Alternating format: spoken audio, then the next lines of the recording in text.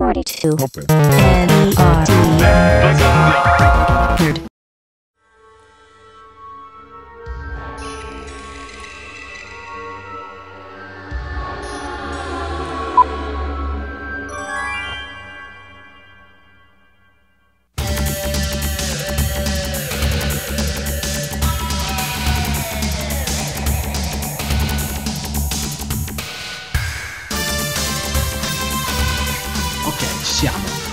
Seconda puntata di Nirvana, siamo ancora qui dopo un mese, abbiamo deciso di ehm, tenerla mensile, eh, questa, questa, nuova trasmissione di Lega Nerd, l'abbiamo chiamata ta- eh, Talkcast, praticamente quindi è una specie di talk show con ospiti eh, dai, dai, migliori siti italiani di tecnologia e videogiochi.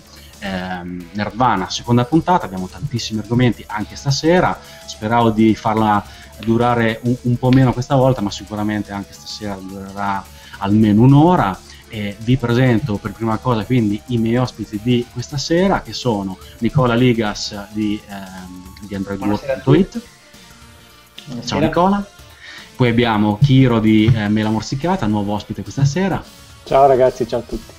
E poi abbiamo ancora il mitico Antonio Fuccito di Multiplayer.it. Ciao a tutti ragazzi. Poi durante la puntata invece avremo due collegamenti veloci con due Alberti, quindi abbiamo Alberto Macaluso invece che è un po' la mascotte di, Lucca Comics and Games, famosissimo diciamo nell'ambiente eh, di Lucca, eh, che ci racconterà quali sono le novità quest'anno eh, di Lucca Comics. Um, ho scritto un articolo ormai un mesetto fa in, in cui eh, pubblicavo la, la press release, ci sono delle novità interessanti Pare però che non abbiano fatto tutto quello che dovevano fare, ma la polemica la farò dopo.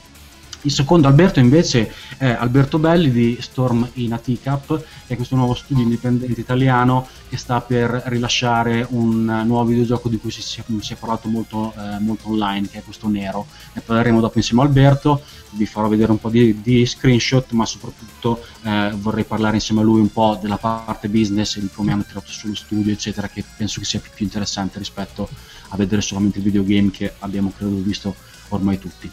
Eh, però a questo punto partiamo subito con Nicola, eh, come al solito parliamo di smartphone anche questa sera, eh, nel frattempo eh, sono stati annunciati e sono usciti eh, due telefoni nuovi secondo me eh, interessanti che sono l'Oppo Find 7 che è stato annunciato la scorsa settimana ed è in pre-order da, da, un paio di giorni ma soprattutto è uscito eh, in commercio il, la, il, nuovo HTC One di cui abbiamo parlato la scorsa puntata e adesso finalmente l'abbiamo visto, poi Android World ha fatto un, una mega recensione per cui ce ne parlerà, ma vorrei par- eh, parlare prima di questi due telefoni di, eh, di, di, Android Wear, che è questa nuova ehm, diciamo, versione di Android dedicata ai wearable, eh, per cui in particolare agli smartwatch, ma in teoria anche a altre eventuali device che indosseremo in un futuro prossimo, eh, secondo Google. Quindi io partirei con Nicola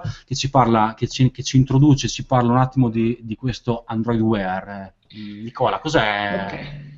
Allora, intanto grazie Antonio, grazie agli amici di Lega Nerd e a tutti gli ospiti. Per chi non mi conosce, sono Nicola Ligas di AndroidWorld.it. E che cos'è Android Wear? Android Wear è il segno che Google si sveglia, si sveglia sempre con i suoi tempi, ma insomma alla fine si sveglia, ha capito che il 2014 sarà l'anno dei wearable, wearable che inizieranno con il nostro polso, ma che sicuramente non si fermeranno lì io personalmente mi aspetto che Android Wear arrivi sui Google Glass probabilmente ancora prima che sugli smartwatch, che comunque arriveranno quest'estate. Eh, Google ha promesso un paio di mesi fa un aggiornamento a KitKat per i suoi Google Glass. Guarda caso, Android Wear è basato su KitKat, mi sembrerebbe strano che appunto Android Wear non arrivasse anche appunto sugli occhiali di casa. Eh, per quanto riguarda gli smartwatch, al momento ne sono stati presentati due, che sono Motorola Moto 360 ed LG G Watch. Usciranno entrambi più o meno verso giugno, probabilmente prima quello di LG e poi durante l'estate quello di Motorola. Sono dispositivi entrambi molto interessanti, eh, inutile dirlo che non me ne voglia male LG, la mia preferenza va a quello di Motorola perché richiama molto più da vicino i veri orologi, cioè sarà tondo, sarà eh, elegante, cinturini in metallo, eh, la scocca anche quella in metallo, poi c'è la classica rotellina che un po' hanno tutti gli orologi classici, insomma, a cui siamo abituati Penso che forse eh, anche i non esperti, vedendo un Moto 360, potrebbero pensare, potrebbero scambiarlo magari per un vero orologio, cosa che invece adesso non succede quasi con nessuno smartwatch di quelli in commercio ora come ora. Eh, prezzi, che è la cosa che ci chiedono più spesso, non li sappiamo con precisione. LG G Watch, notizia di un paio di giorni fa, dovrebbe venire sui 200 euro, 200, 220, insomma dipenderà dal mercato. Eh, Moto 360, previsione mia personale, almeno il doppio, se non addirittura anche 500 euro, ma poi il problema del prezzo è anche relativo a dove saranno commercializzati. Eh, G-Watch è praticamente sicuro che arriverà anche in Italia, c'è stato un comunicato stampa anche di LG in materia. Moto 360 sicuramente sarà più difficile, sarà più difficile intanto che arrivi da subito, magari lo farà con più calma, poi anche lì sembra che ci siano dei problemi di quantità, nel senso che è più difficile da produrre perché comunque è uno smartwatch tondo che introduce tutta una serie di complessità sia a livello tecnico che proprio poi anche pratico, insomma tutta la circuiteria deve stare in uno spazio tondo anziché squadrato, sì. il display deve essere tagliato, insomma non è facile, poi anche a livello di interfaccia comunque ci vuole un'interfaccia ad hoc per questo schermo. Riguardo l'interfaccia, quello che ti posso dire di Android Wear, che comunque al momento è, non è ancora appunto pubblico, c'è solo una preview dell'SDK che ci ha permesso di, boh, diciamo, di avere un primo sguardo è che non sembra un sistema nuovo a sé stante, nel senso che comunque Google lo pensa in relazione all'utilizzo con uno smartphone.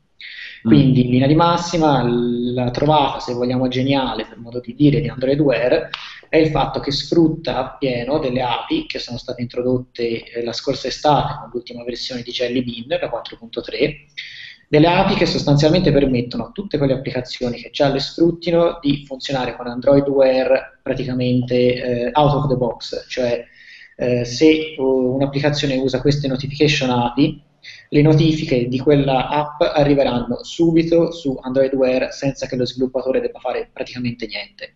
Mm. E questo vuol dire, in poche parole, avere una compatibilità veramente massima o comunque semplificare la vita al massimo agli sviluppatori.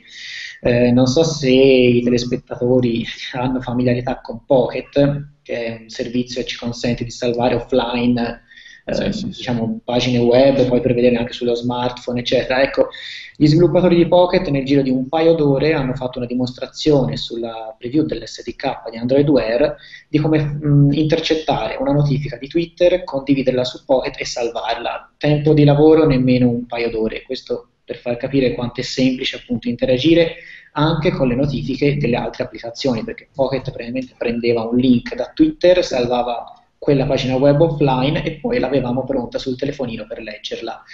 Eh, leggerla appunto sullo smartphone, non leggerla su Android Wear, quindi non pensiamo che Google abbia in mente di fare delle applicazioni completamente nuove solo per gli smartwatch, perché a quanto sembra sarà un po' l'inverso, saranno le applicazioni dello smartphone che interagiranno con lo smartwatch e viceversa, ma non è tanto che ci saranno nuove applicazioni pensate solo ed esclusivamente per lo smartwatch, tranne magari quelle forse più banali, tipo so, un cronometro, il meteo, tutta l'interfaccia basilare, sì. ma poi il resto si appoggerà pesantemente sul telefono. Ma dimmi, dimmi una cosa, cioè, mh, mm, eh, ti, mm, ti, interessa a te effettivamente mh, mm, questo nuovo fenomeno smartwatch? Cioè, nel, nel, senso, ok, probabilmente ce lo compreremo perché è una roba nuova, è figa, il 360 è fighissimo, se costa 500 euro sicuramente non lo comprerò, però comunque eh, è, è, veramente un bellissimo oggetto, però alla fine di utilità vera... Eh, Senti, allora ti, ti divido la risposta in due perché la stai facendo alla persona sbagliata, cioè io non ho resistito ai glass, quindi cioè, mm. non puoi chiedere a me se resisterò a 360 perché cioè, appena è uscito, cioè, non l'hanno diciamo, presentato, io e Emanuele ci siamo guardati e abbiamo detto mio, cioè, nel senso, non è che eh, diciamo, da questo punto, dal punto di vista nerd mio, sì, sì. qualunque sia il non voglio dire qualunque sia il prezzo, era, mi, mi, tiro la iella da solo e me lo fanno a 2000 euro e allora mi sparo. Eh, quanto servirà davvero? Eh, questo è il A niente cioè. servirà, questo è il problema. Eh, eh, allora, a nulla. Sarà bello, sarà bello, servirà avere le notifichine. Noi abbiamo provato un po' degli smartwatch di adesso, ora non tutti hanno questo sistema di notifiche, secondo me così ben pensato come avrà Android Wear, però anche dai video di presentazione sembra che comunque sarà un modo per avere a portata di mano che cosa? Google Now, che è il cavallo di battaglia di Google, e quindi la ricerca vocale, tutti i comandi vocali che potete volere, notifiche, poi magari uno ci avrà il classico meteo che ormai te lo schiaffano anche nei dispositivi di Xan. Quindi a nulla, eh, a niente. Dai, 500 euro. Non sarà rivoluzionario, però insomma eh, io lo vedo un po' anche come una no, voglio dire. C'è, c'è da dire una cosa eh, gli smartphone stanno diventando sempre più ingombranti, di riduzioni di dimensioni se ne parla sempre meno, adesso anche iPhone si sposta, sembra, verso i 4,7 e poi boh, forse a salire. Sì. Quindi penso che in futuro l'esigenza dello smartwatch diventerà un'esigenza anche pratica, il padellone sempre dietro è scomodo, me lo tengo in tasca, in borsa, in quello che è, addosso ho il, l'orologio e lì guardo le cose che mi arrivano, se la notifica è importante tanto da dover prendere lo smartphone, lo tiro fuori, se si tratta di leggere un messaggino, un'email, rispondere sì, rapidamente a l'orologio al polso e con quello risolto. Potrebbe essere. La mia paura chiaramente è che si, si rivelerà quello che sono stati uh, gli, gli, smartwatch fino adesso, sì, sicuramente sarà più integrato, sicuramente finalmente grazie a Android Wear mh, mm, sarà compatibile con tutti i dispositivi su cui gira Android e questo già insomma è un miglioramento non da poco. Sì, sicuramente sarà fighissimo quando sei a San Francisco e parli in inglese eh, utilizzare Google Now, però se sei a... Eh, Roncofritto in Italia e hai il Android in italiano, Google Now sappiamo bene che non serve praticamente a nulla. Eh, la... eh, bisogna vedere anche lì la localizzazione quanto sarà. Google Now in italiano un po' procede, un po' a volte va avanti, un po' a volte va indietro. Sì, diciamo sì, soprattutto indietro. Basilari le fa, dai. Ah. Eh, si tratta di chiamare, ricercare, eccetera. Più che altro è quanto lui ti risponda. Però sai in un telefonino fa figo, tipo te prendi un Moto X e fa figo dire io gli parlo a voce e lui mi risponde a voce. L'orologio nessuno pretende che ti risponda a voce, se già ti arriva sul display eh, la risposta a quello che va bene anche quella, basta che sia esatta e che capisca bene l'italiano.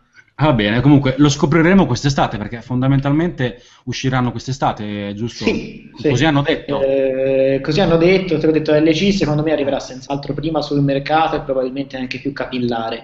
Per eh. Motorola ci vorrà un pochino più di pazienza. Sì, anche perché mentre il telefo- il, lo smartwatch di LG l'abbiamo visto e diciamo che è credibile, eh, tra virgolette, eh, il Moto 360 l'abbiamo visto, ma solamente in rendering. Allora, visto che in teoria dovrebbe uscire tra, stiamo parlando di un paio di mesi, anche lì de- devo capire come mai non è stato mostrato. Sì, si è visto un video in cui lui ce l'aveva al polso, interagiva, però fino adesso l'unica sì, foto perché sono dei rendering. No, appunto, appunto che mi chiedo come faranno a farlo uscire tra, tra, due mesi se ancora non si arrischiano a far vedere una foto. No, beh, tieni conto, siamo adesso che è inizio aprile, eh, per quanto penso io, prima di quattro mesi buoni non lo vediamo in America. Se sì. aspettiamo l'Europa, ma non vorrei essere pessimista a tutto, ma si va secondo me abbastanza tranquillamente anche dopo l'estate. Dopodiché già si parla adesso appunto di quantità comunque limitate bisogna vedere quanto limitate e poi anche lì a che prezzo. Eh, da Motorola mi aspetto di tutto, sia in senso positivo che in senso negativo. A questo punto aspettiamo e vediamo un po'. Vedremo, vedremo, ma andiamo avanti. Andiamo avanti, allora, sempre con, con, con Nicola, con, come dicevo prima, vorrei mh, mm, brevemente eh, parlare di, di, due telefoni che sono in uscita questo mese, insieme a il, al Galaxy S5 di, di, cui abbiamo largamente parlato il mese scorso, ehm, che sono appunto il nuovo HTC One, che sembrava dovesse chiamarsi The, The All New One, poi hanno fatto, han fatto, un po' di casini, come al solito di, di marketing e PR, e l'hanno chiamato eh, new, eh, new, HTC One tra parentesi M8 per riprendere un po' il nome in codice che, ha, che è il seguito dell'M7 che era il Sì. One de- dell'anno scorso. Oltre a quello ti chiedo dopo anche di introdurci brevemente invece questo nuovo Oppo. Oppo è questa marca eh, cinese famosa, eh, prima famosa per, per i, per- per i suoi player Blu-ray di altissima qualità da svariate migliaia di euro, che da un paio d'anni si è messa a fare anche smartphone di fascia alta a un prezzo accettibile, eh, eh, mm, accettabile, non accettibile, ehm, da, un, sì, da un prezzo eh, diciamo abbordabile, ma da un'ottima costruzione e con caratteristiche tecniche eh, sicuramente di fascia altissima. È uscito lo scorso anno eh, il Fine 5 che era interessante, mi piaceva molto, stavo per eh, comprarmelo, devo dire la verità. Quest'anno invece ehm, il suo seguito diciamo si chiama Fine 7 è in pre-order qui- in Europa è venduto direttamente in Europa da Oppo da un paio di giorni, tra l'altro con, con- con un sacco di roba in regalo se lo, se lo preordinate sul sito questa settimana. Direi che è un device eh, interessante, però parliamo- partiamo prima ehm, con l'HTC One. Sì, allora il nuovo HTC One, come hai detto te, al di là dei nomi, comunque il nome ufficiale dovrebbe essere proprio HTC One M8, eh, riprendendo Sì. appunto il nome in codice del nuovo modello contro M7, che era quello dello scorso anno. Ma senti, allora, non starò qui a rielencare tutto, su Android World abbiamo fatto anche una eh, molto discussa eh, recensione di HTC One M8, discussa perché è uno smartphone che ha fatto appunto parlare molto di sé nel bene e nel male. Il male è soprattutto il prezzo, che comunque all'uscita è elevato, 729 euro il prezzo ufficiale, poi lo si può già trovare un po' meno, ma comunque diciamo, il prezzo di uscita è, mm, se mi passate il termine, proibitivo, insomma comunque veramente molto elevato. Eh, qual è il punto? Il punto è che, a parer mio, è un ottimo smartphone, è migliore ovviamente di quello dell'anno precedente, vabbè, non è in realtà così scontato che sia sempre tanto migliore. Migliore un po' in tutto, nell'estetica e anche nella tecnica. Eh, credo, nel senso non me lo auguro, o quantomeno non lo auguro ad HTC, ma credo che avrà anche meno successo del precedente, perché comunque Mm. eh, non- HTC non ha saputo dargli quella killer feature in più, quella novità, tanto da renderlo appetibile agli occhi degli utenti. Il bello è che se poi lo si va a guardare, eh, ha suscitato molta curiosità appunto in redazione quando è arrivato One e ancora adesso, insomma, ogni tanto eh, continuiamo lo stesso a divertirci, a fare foto, a osservarlo meglio, perché comunque è uno smartphone Android per certi versi unico, cioè se lo prendi in mano, se lo osservi da vicino, noti una cura che su Android davvero in pochi hanno. Eh, Vero. diciamo, rifinito in ogni angolatura. Ehm, gli speaker sono veramente ancora più potenti di quelli dello scorso anno, due speaker stereo anteriori, cosa che giusto Xperia Z2 può vantare, poi li confronteremo ancora, non so dirvi quanto sia davvero potente Xperia Z2, ci sono un po' di test su internet, ma insomma mi fido sempre fino a un certo punto finché non li ho provati. Sì. Ehm, One M8 che appunto ha design perfetto, quantomeno dal punto di vista dei materiali e della rifinitura, speaker potenti, display bellissimo, sembra come sempre che sia stampato veramente sopra, non sembra un'immagine eh, appunto proiettata, ma sembra davvero una stampa messa lì sul, sul display del dispositivo. È veloce, questo vabbè, ok, c'è chi si lamenta che non ha 3 GB di RAM, ma insomma credo che siano un pochino sottigliezze sinceramente eh, al giorno d'oggi. L'interfaccia Sense è bella come sempre, se vi piaceva prima vi piacerà anche ora. La discussissima fotocamera, eh, sì, è vero, scatta foto a 4 megapixel, stringi stringi, il concetto è quello. HTC dice una cosa che secondo me comunque è vera, che la maggior parte delle volte chi scatta foto su smartphone non è che poi le porta eh, a sviluppare e ci fa una stampa da parete, se le guarda sul telefonino, le condivide su Facebook o sui social che vuole e boh, magari se le salva sul computer, ma non è nemmeno detto che poi se le riguardi più di tanto. E il punto è questo: foto di One M8, se te te le guardi su One M8, sono meravigliose. Sì, sta roba. poi le vai a mettere su un 24 pollici e le ingrandisci, allora ti accorgi che non sono così perfette. Bisogna vedere un po' l'uso che uno ne fa. Eh, l'interfaccia della fotocamera è molto bella, permette tra l'altro queste due fotocamere posteriori, che sono una sorta di fotocamere 3D che però non registrano nulla in 3D, ma il concetto è che comunque salvano le informazioni sulla profondità di spazio proprio delle foto e li utilizzano per questi effetti telefocus, cioè tu scatti un'immagine che ha una certa profondità e poi decidi cosa vuoi mettere a fuoco, magari quello che sta davanti, magari quello che sta dietro e siccome ci sono tante informazioni aggiuntive, eh, il M8 è in grado di fare questo refocus veramente molto molto bene. È un effetto un po' simile, si chiama effetto bokeh, eh, sì, sì, sì. che si ottiene con le fotocamere litro, insomma tanto per tirare nomi un po' più noti. Ti assicuro che One riesce a farlo davvero bene, che scatti magari una foto un po' anonima, ci metti questo U-Focus, come l'hanno chiamato loro, e dici, ah, bellissima e te la guardi sul display dello smartphone e vedi che effettivamente è bellissima. Poi al solito, se uno va a vederlo a piena risoluzione, sono 4 megapixel, quindi il discorso è che non ci andrete mai a fare un ingrandimento o una cosa del genere. Però, a, me, a me pare la classica feature frega babbani da, da negozio, dove il, il, negoziante fa vedere questa sì, grande figata. È, è un po' la Samsung, Samsung style. Sì, tieni conto di una cosa, una feature simile ce l'ha anche Sony, che però la fa via software. E il discorso è questo, HTC te la fa via hardware e te la fa effettivamente veramente molto bene, io credo sia difficile farla così bene come l'hanno fatta loro. La domanda che uno si può porre è valeva la pena investirci eh, esatto. così tanto? No. Perché poi comunque alla fin, fine, alla fin, fine vai nel negozio e il commesso ti fa vedere che Xperia Z2 fa più o meno la stessa cosa e non credo che nessuno stia lì a cogliere davvero eh, la grande differenza e nel frattempo Z2 ha una fotocamera da 20 megapixel che uno la vede e dice oh 20 megapixel wow eh.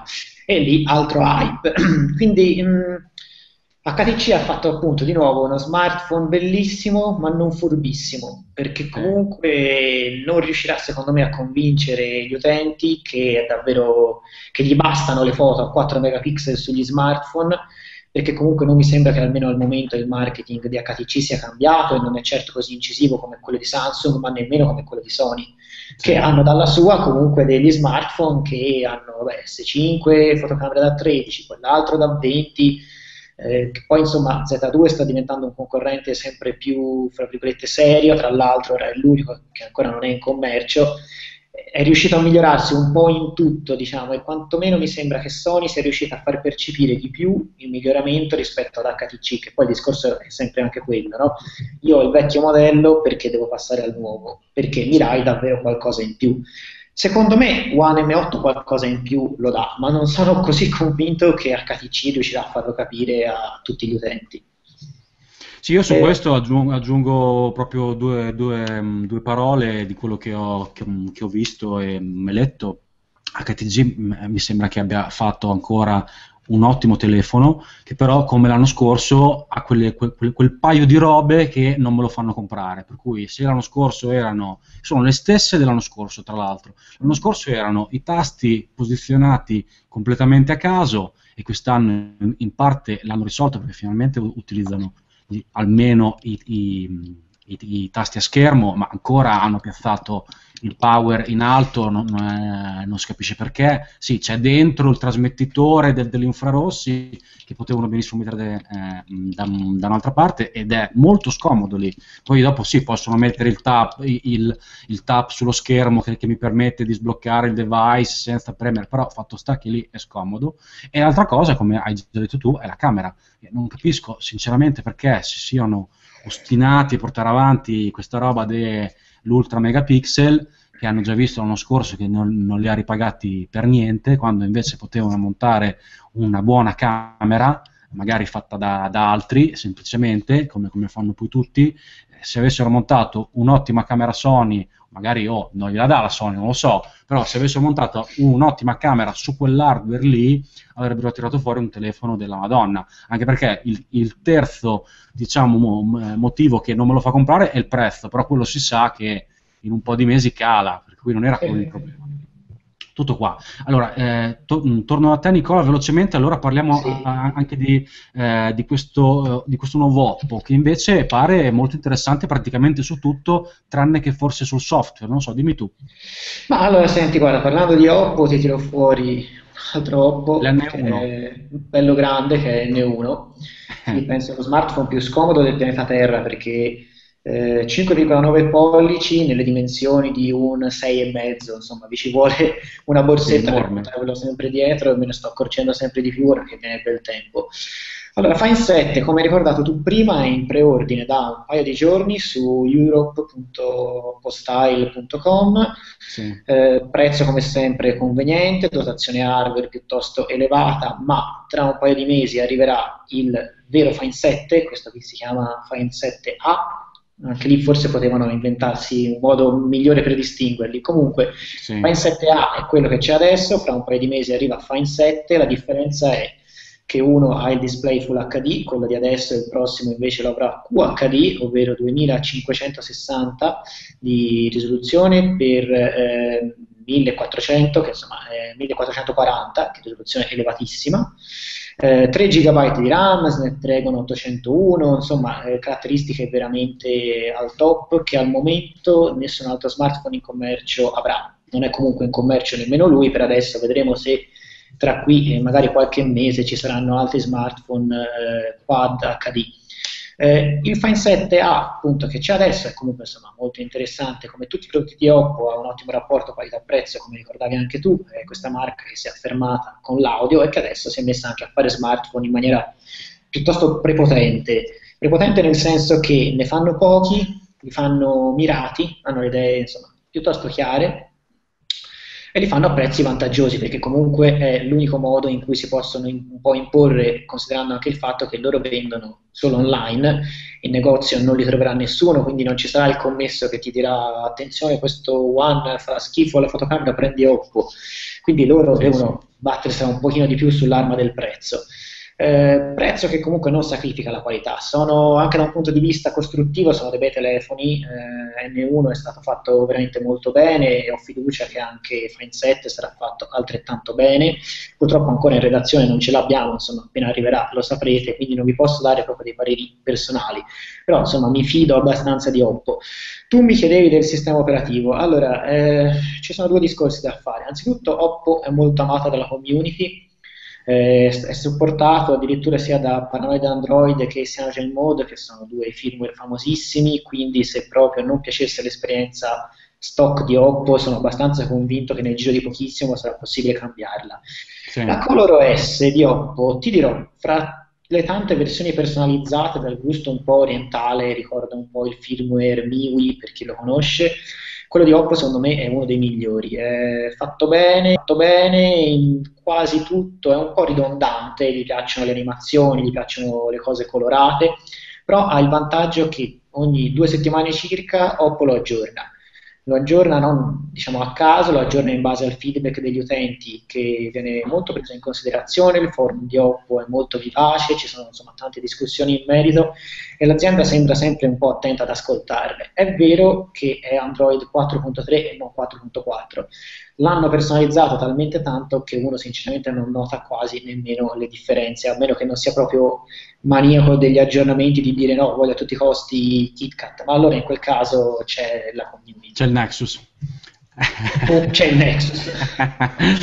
allora, ok, abbiamo parlato, abbiamo parlato, anche di Oppo, che è proprio Oppo è il classico telefono da nerd, parliamoci chiaro, un po' come, come Xiaomi eh, o o come si chiama, mm, l'unica differenza è che eh, adesso fondamentalmente Oppo vende anche in Europa, quindi c'è una pseudo garanzia, eh, costano veramente poco, perché se, se non ricordo male eh, il Fine 7 è, è a 3,99, giusto?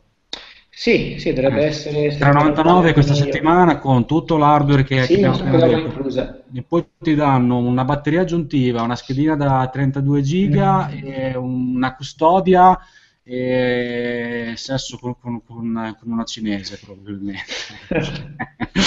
Andiamo avanti. Comunque, no, è interessante. Interessante, chiaramente è da super nerd, quindi preparatevi a installargli sopra ROM modificate, una e compagnia. Se invece volete un'esperienza semplice su Android, probabilmente c'è di meglio, chiaramente, però lo pagate di più, oppure lo pagate di meno se andate su Nexus 5 e compagnia, che è sempre il mio consiglio, come ben sapete.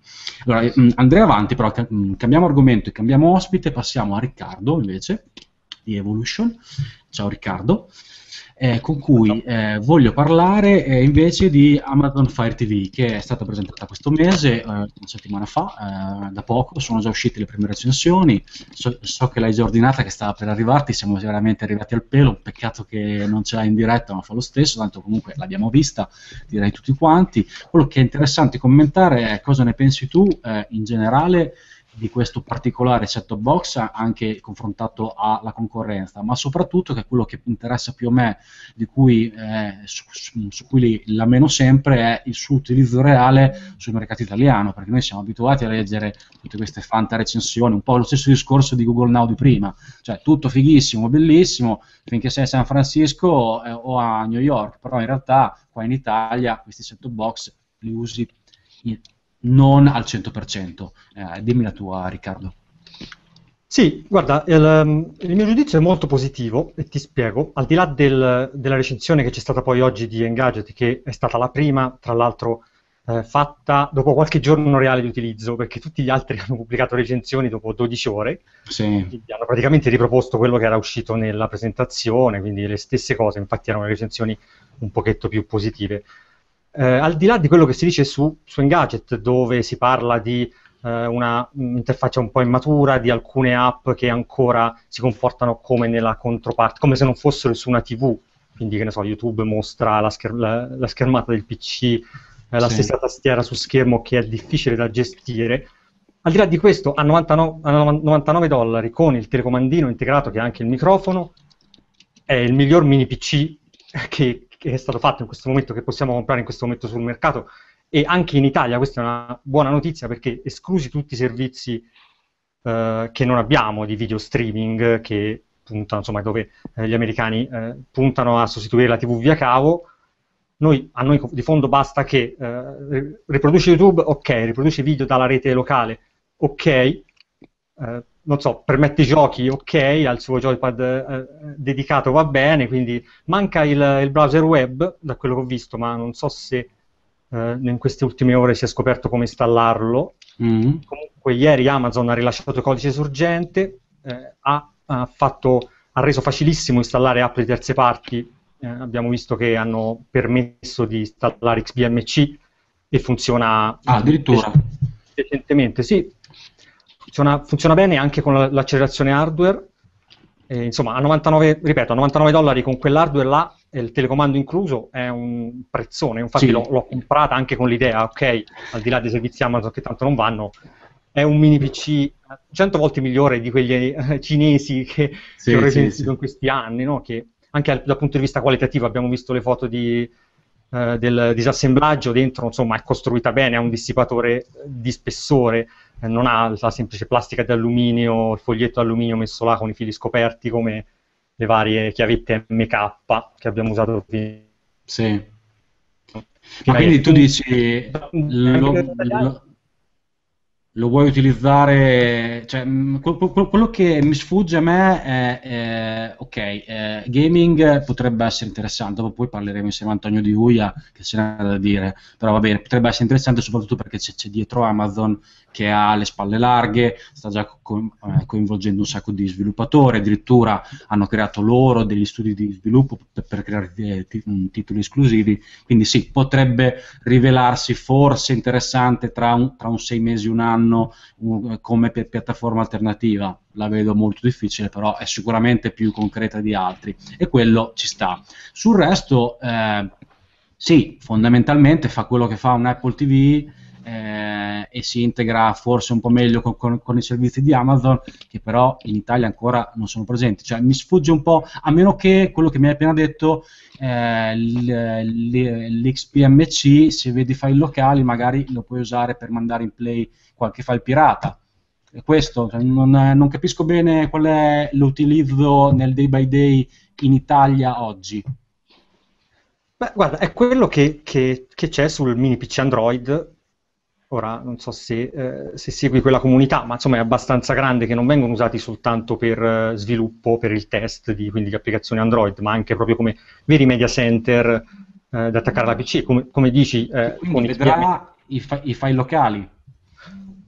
file locali, ma anche, quindi anche magari la libreria. Io ad esempio li uso con la TV collegata all'impianto Wi-Fi o la libreria musicale sul, sul Mac e dalla TV mi vedo con anche funzioni karaoke, no? per dire quando viene qualcuno, eh, mi ho tutta la libreria là, lo stesso posso farlo con, con i video, con la navigazione web, certo, eh, con certo. i video di YouTube eh, in classica modalità, che poi è come se fosse un grande tablet di fondo, no? un grande tablet collegato alla TV eh, sì, eh, il discorso dei giochi, come dicevi, è, eh, tra l'altro Engadget ti ha tirato fuori un, una, una, questione interessante, cioè che il controller costa 40 dollari, comprarne due farci multiplayer già ne costa 80, sì. quindi anche lì è già un po' un, un, po un limite no, rispetto a, a, al prezzo iniziale. E, però insomma credo che il loro target siano gli utenti che utilizzano i giochi su tablet o su smartphone, quindi nulla di, di così eh, sì, diciamo che però, eh, cioè, se dovessi, per, eh, per, esempio, fondamentalmente allora fa praticamente le stesse cose che, che può fare anche un Chromecast, che però di, di dollari ne costa 35. Uh, eh, no, cioè, eh, dipende perché Chromecast, ok, poi tra l'altro Chromecast adesso la stiamo giudicando con, con, tutti i mesi di sviluppo che ci sono alle spalle, quando è uscita, che poi è quando io ho fatto la, la recensione lo scorso agosto, settembre, non permetteva praticamente di far nulla, cioè sì. soltanto c'era la riproduzione di, di, YouTube. Però Chromecast funziona in un modo diverso perché praticamente è si una... Streama... Sì, è vero, è vero. Sì, si collega lei a internet e trasmette eh, lei da là. Tu praticamente sei soltanto un telecomando con esatto, il tablet. Esatto. Poi adesso sono uscite app che permettono di fare un po', un po', più cose, però quello è un vero mini PC anche a livello hardware.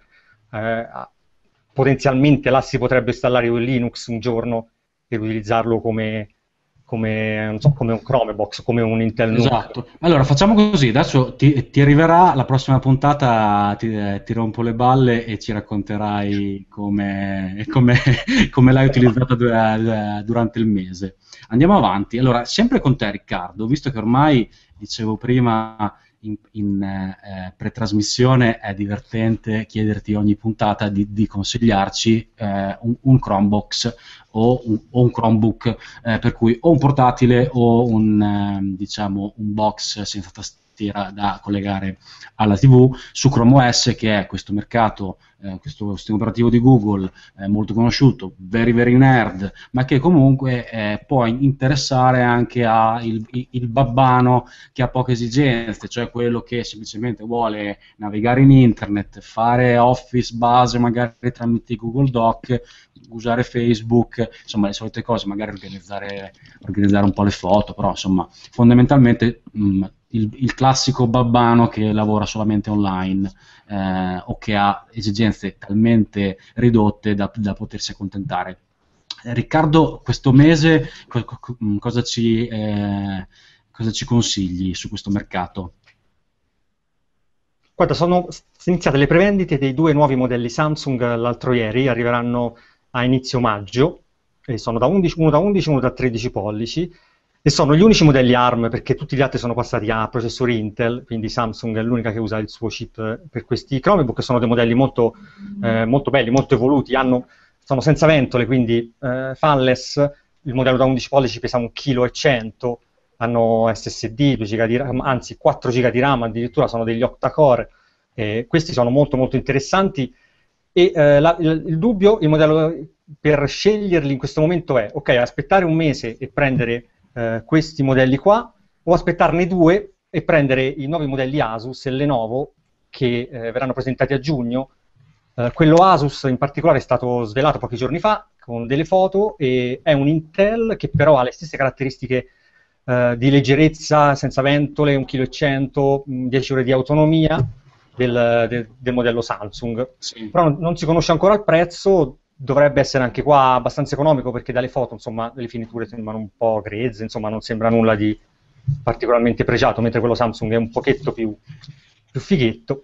Quindi io, chi ha fretta adesso, nel modello Acer, il C720 da 199 euro è assolutamente il modello consigliato. Rimane può... lui, sì. Sì, perché soprattutto chi, ha, cioè chi, chi, lo vuole adesso e conosce bene Chrome OS, o magari per chi ha, non lo conosce affatto e vuole spendere poco e provarlo, Mentre chissà, uh, chi, vuo, chi, può aspettare ancora un mese, un mese, due mesi, meglio valutare come va quello Samsung, perché alla fine il processore octa-core non si sa come, come si comporta. Samsung parla di un 125% di prestazioni in più rispetto al precedente, e, e, oppure vedere come, come, sarà quello Asus, se sarà troppo economico oppure se sarà un buona, una buona macchina. Dovrebbe, avere, dovrebbe essere molto, molto, interessante perché ha processori nuovi Bay Trail, eh, senza ventole, eh, ripeto, con una batteria. Tra l'altro la batteria dovrebbe essere anche più lunga delle 10 ore perché si parla di una, di una batteria che dura addirittura 24 ore, insomma si è, si è, si è scritto un po'. Quindi o prendere quello o aspettare un mese, due mesi. Sì, diciamo che effettivamente sono, stanno uscendo prodotti sempre più, sempre più interessanti su questo mercato che eh, sta diventando maturo. Mi sembra che sia più indietro Google dei, dei produttori, nel senso che eh, non ho visto sviluppi incredibili in, in Chrome OS eh, durante gli ultimi mesi, per, per, per, quel poco che seguo io, chiaramente perché non è un argomento che seguo eh, assiduamente, però non mi sembra che ci siano state novità incredibili, invece sull'hardware si, sta, si stanno, stanno, uscendo sul mercato prodotti molto interessanti, eh, com- come dicevi tu giustamente, sia su, su piattaforma Intel che, che Qualcomm, diciamo, comunque eh, Samsung, eh, per cui vedremo. Eh, comunque ogni mese, ogni puntata di Nerdvana vi stresseremo su, eh, su Chrome OS e sugli acquisti. Guarda. A proposito di acquisti, andiamo avanti perché eh, è arrivato il momento della nostra rubrica eh, Incauto Acquisto. E quindi Incauto Acquisto cos'è? Fondamentalmente la nostra rubrica dove chiediamo ad ogni ospite di consigliarci un qualcosa eh, da comprare online eh, tramite e-commerce, quindi per fare un bel incauto acquisto. E quindi vado a vedere i consigli, se ce la faccio come al solito.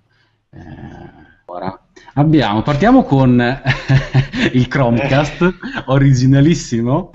no, lo so, allora, sono andato veramente sul banalissimo. Sono andato sul banalissimo perché in tanti comunque continuano a chiederci se questo Chromecast meriti o non meriti o insomma se sia una mezza fregatura.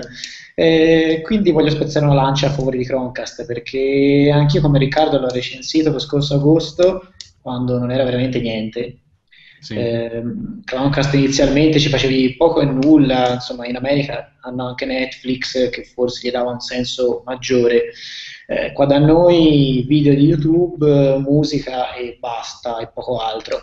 Um, il senso che ha Chromecast secondo me è duplice, da una parte da PC perché comunque se avete mai sentito l'esigenza di eh, proiettare i tab di Chrome o addirittura l'intero desktop su grande schermo, Chromecast offre una soluzione comunque efficace e economica. E poi perché adesso su Android sta veramente fiorendo con il rilascio dell'SDK, sono, ci sono tantissime insomma, applicazioni che possono sfruttare Chromecast, è possibile inviarci adesso contenuti anche da un server DLNA tramite alcune di queste, quindi insomma se avete un vecchio televisore che non sia per niente smart, con 35 euro potrete navigarci in internet, guardare video, ascoltare musica, insomma. Io Ma credo che tutto sommato sia una cifra dignitosa per quello che ha da offrire, considerando poi che ormai è chiaro che Google ci investe sopra, cioè all'inizio era il solito dispositivo, dice boh, lo porteranno all'estero, rimarrà di nicchia, non farà nulla, ora insomma mi sembra chiaro che invece abbia un suo futuro, quindi mi sento di consigliarlo. Esatto, assolutamente lo consiglio anch'io, anche perché, co- come dicevi giustamente, gli utilizzi si stanno eh, moltiplicando. Sì. Andiamo avanti, andiamo avanti. Que- questo qui invece è di Antonio Fucito, che quando l'ho visto ho detto no, non è vero. Cioè, eh, fondamentalmente, eh, Tanven, raccontaci questa cosa che n- non ci posso credere che non, non, non esiste questa roba qua di Nintendo. Eh, praticamente questa è una polemica contro Nintendo perché innanzitutto chi ha il 3DS XL sa che non, che non esce, che non, nella confezione non c'è il trasformatore di corrente, quindi non si sa come si può caricare e poi tra parentesi non esistono cavi ufficiali, eh, sono anche difficili da trovare di terze parti che permettono di ricaricare la console da una batteria esterna USB, da un computer, da una presa USB qualsiasi. Attualmente è possibile soltanto utilizzare il trasformatore di Nintendo, quello di GameStop e compagnia compagnia, che tra parentesi quello di Nintendo non è doppio voltaggio, quindi funziona soltanto in Italia, una console portatile che ti porti in giro non puoi ricaricarla da nessuna parte. Eh sì. una cosa incredibile. Ho trovato questo cavetto da 3 euro scarse dall'Inghilterra che ti permette invece di attaccare la console a qualsiasi presa USB che sia una batteria o un computer, funziona perfetta e finalmente si può utilizzare il 3DS in maniera portatile, altrimenti ti dura la batteria 3 ore e mezza, 4 ore col 3D e poi lo butti nel cestino. Eh sì. Almeno grazie a questo cavetto che è così semplice, probabilmente ehm, c'è qualcosina che frega la console da far credere di essere un trasformatore, funziona perfettamente. Testato sull'ultimo volo che ho fatto intercontinentale, una bellezza. Ottimo. Ottimo, quindi finalmente potrete ricaricare il, il vostro DS con una presa USB. Incredibile dirlo, però questo è con Ci vuole 3 una euro alla, faccia di, alla esatto. faccia di Nintendo. Va bene, andiamo avanti. Fighissima anche questa. C'è quest'altra cosa qua invece di Kiro che quando l'ho visto ho detto no, finalmente, cioè fondamentalmente, come spiega lui stesso nell'articolo di Mela Morsicata, il, il telecomando sui Mac è scomparso, però volendo c'è questo Bluetooth di terze parti, giusto Kiro? Sì, questo accessorio che è stato, è nato come un progetto su Kickstarter qualche mese fa, poi ha avuto talmente tanto successo che è stato prodotto su scala industriale, adesso si trova anche in Italia su Amazon tranquillamente e permette, oltre a funzionare come telecomando Bluetooth, eh, sia per quanto riguarda le slide eh, con Keynote, PowerPoint, OpenOffice e altre applicazioni, in modo da fare i fighi alle presentazioni, sai, non devi Sì. eh, indirizzare il telecomando al computer, eh, oppure scarichi l'applicazione sull'iPhone e poi puntualmente non funziona. A me è capitato una volta durante una presentazione che siccome utilizza il wifi, eh, salta il wifi, salta anche il collegamento, quindi non va. Bene. Mentre questo è, è Bluetooth, quindi se sei nell'arco di azione, sono circa 10 metri, è possibile utilizzare questo telecomando per comandare a distanza sia il computer, ma funziona anche su iPhone e su iPad.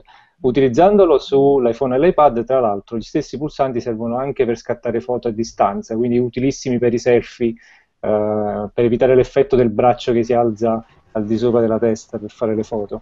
Sì. Inoltre il telecomando, siccome dentro c'è un firmware aggiornabile, eh, viene utilizzato anche come eh, riproduttore musicale, quindi per comandare a distanza la musica, per azionare Siri, quindi per dettare delle cose al, al- al telefono, e poi eh, può essere utilizzato come telecomando dell'Apple TV, può essere utilizzato come joystick perché il produttore eh, diffonde anche una SDK che è integrabile all'interno dei giochi. Gli sviluppatori che vogliono farlo la, la scaricano, la integrano. Ci sono anche giochi abbastanza famosi che la integrano come Temple Run.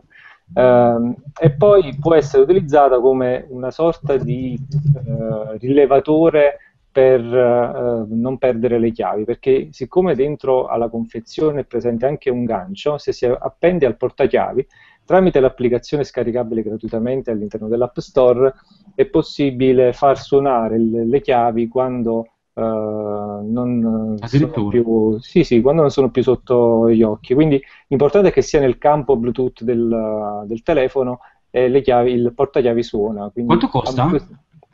Eh, circa 39 euro, quindi neanche Beh, direi che è, un, che è un incauto da manuale che ce lo stiamo comprando tu- tutti. Bellissimo. Sì, tra l'altro ce l'ho Eh, qui di Funziona fronte a solo su, su iOS? Non, non ho letto. no, anche funziona su- Android.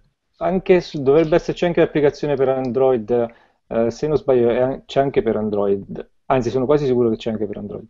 E, eh, tra l'altro quasi sicuro non significa niente, però eh, si, si registra, si ricarica tramite la porta micro USB, tra l'altro ce l'ho qui tra le mie mani, è leggerissimo, quindi non, non dà neanche fastidio, basta metterlo in tasca, lo si può utilizzare quando serve per eh, queste svariate cose. Eh, si può per esempio sedersi sul divano e guardarsi un film nel computer, poi eh, fermarlo, mandarlo avanti, indietro, tranquillamente con il Bluetooth. Fighissimo. Vado avanti sull'ultima invece, che è quella di Riccardo, che è Gamebuino. Gamebuino l'avevo visto su- sia sul tuo sito che, che in giro, è molto carino, ma, ma parlacene tu, Riccardo. Sì, è, un- è una mini console grande quanto una carta di credito, eh, non fatta per il retro gaming, ma proprio dove girano dei, eh, dei giochi dedicati. Quindi tu compri il kit, costa 25 euro, anche se ormai è rimasto disponibile solo quello da 35, Sì. e ha insieme, tutti, ha insieme le SDK e il software per programmarti i, i giochi. Eh, c'è anche il video allegato a- a- alla presentazione che è molto molto molto carino, fa vedere un po' cosa si riesce a fare. E poi l'idea è, è mh, scambiarsi giochi tra, eh, tra utilizzatori di Gamebuino, quindi a creare una piccola community dove vengono eh, messi online i piccoli giochi che poi stanno su scheda SD, scheda micro SD. È, molto, è, un progetto in cerca di fondi ancora, ha raggiunto l'obiettivo in poche ore, ma eh, insomma dovrebbe essere pronto, pronto, a giugno o a luglio, se, se, non sbaglio, costa 25 euro, comprese spedizioni in Italia, quindi è sicuramente da, da prenotare.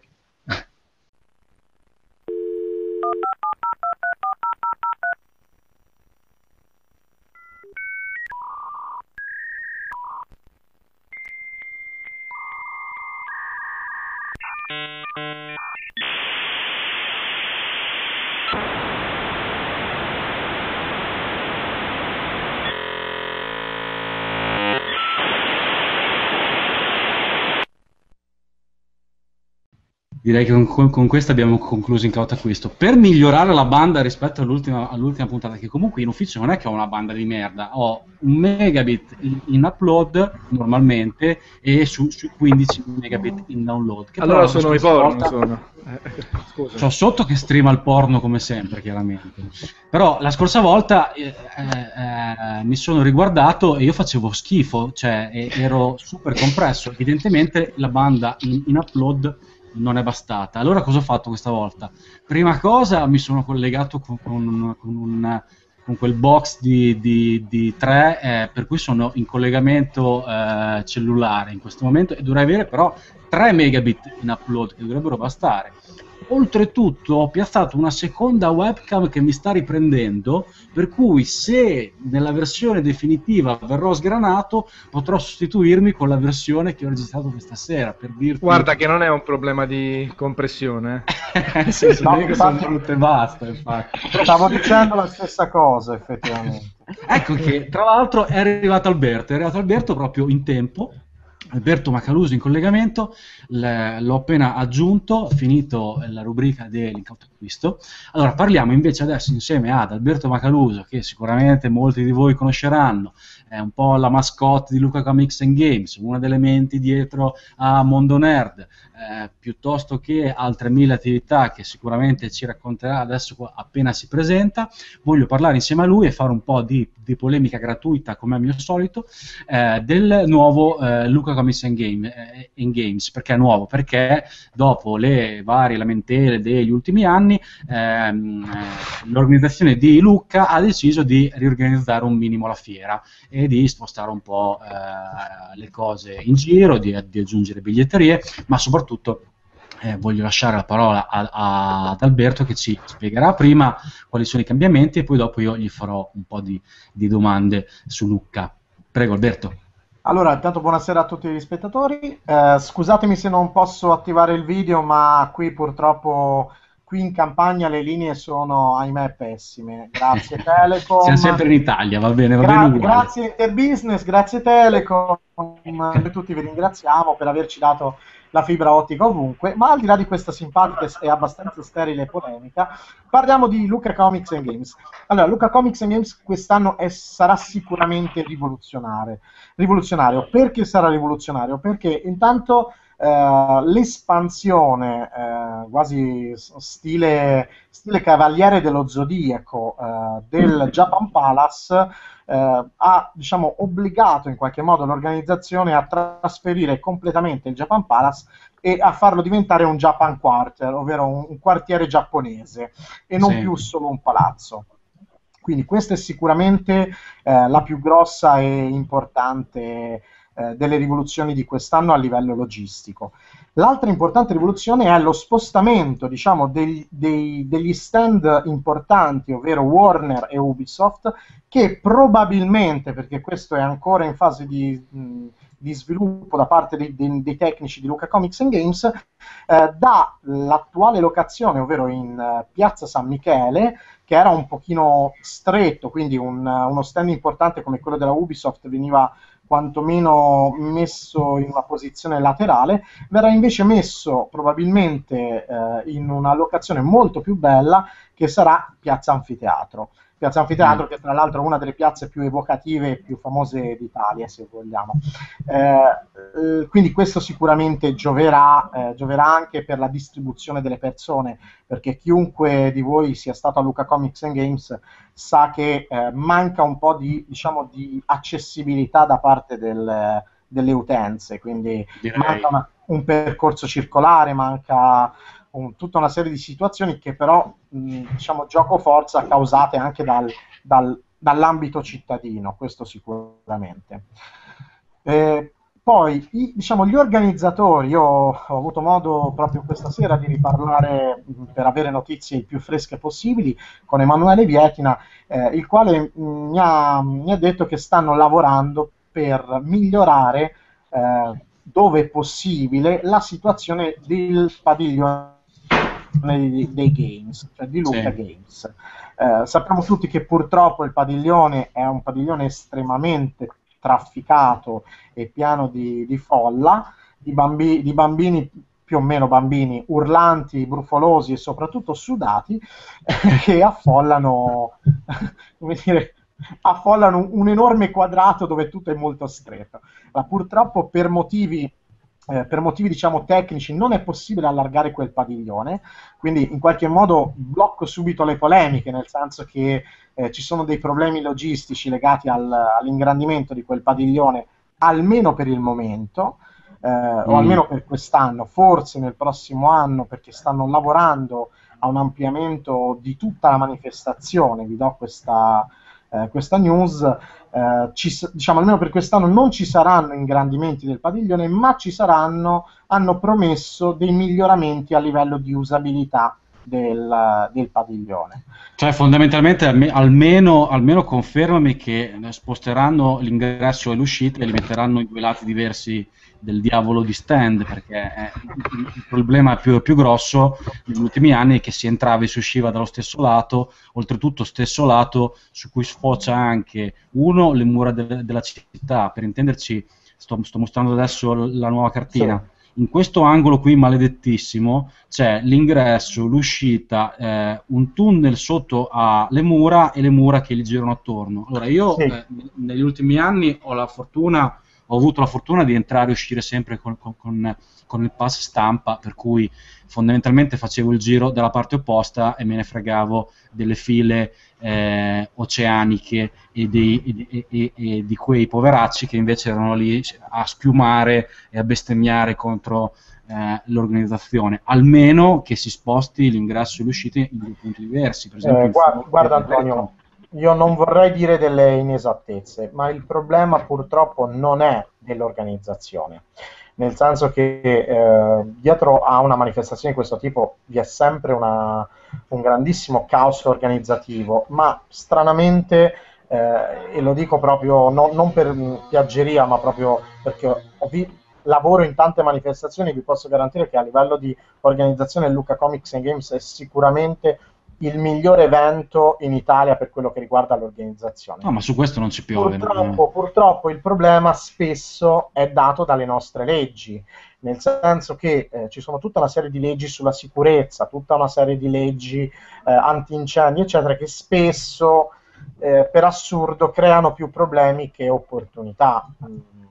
Io non sono sicuro di questo, non voglio dire una cosa inesatta, ma probabilmente penso che la localizzazione di quelle biglietterie e degli ingressi sia dovuto al discorso delle uscite di sicurezza, che è assurdo perché tu mi dirai... Eh beh, eh, sì, eh, direi che è assurdo perché, perché in realtà no. era tutto meno che, che sicuro, insomma chi, chi, è stato a Lucca lo scorso anno si ricorda benissimo le file. Io, io eh, sono, ho, ho, ho, avuto la malaugurata idea di, di uscire una volta insieme agli altri mi sono ritrovato letteralmente per dieci minuti a non camminare ma a essere trascinato dalla folla, cioè potevo anche lasciarmi cadere che sarei comunque rimasto in piedi. Quindi, ma cioè, quello, quello, è perché no. sei tu che sei vecchio, perché per esempio noi, noi, giovani usiamo una forma di teletrasporto avanzato che ci consente lo spostamento da una parte all'altra della città senza nessun tipo di problema, questo come dire Antonio, è, è un tuo problema, no, scherzi a parte però.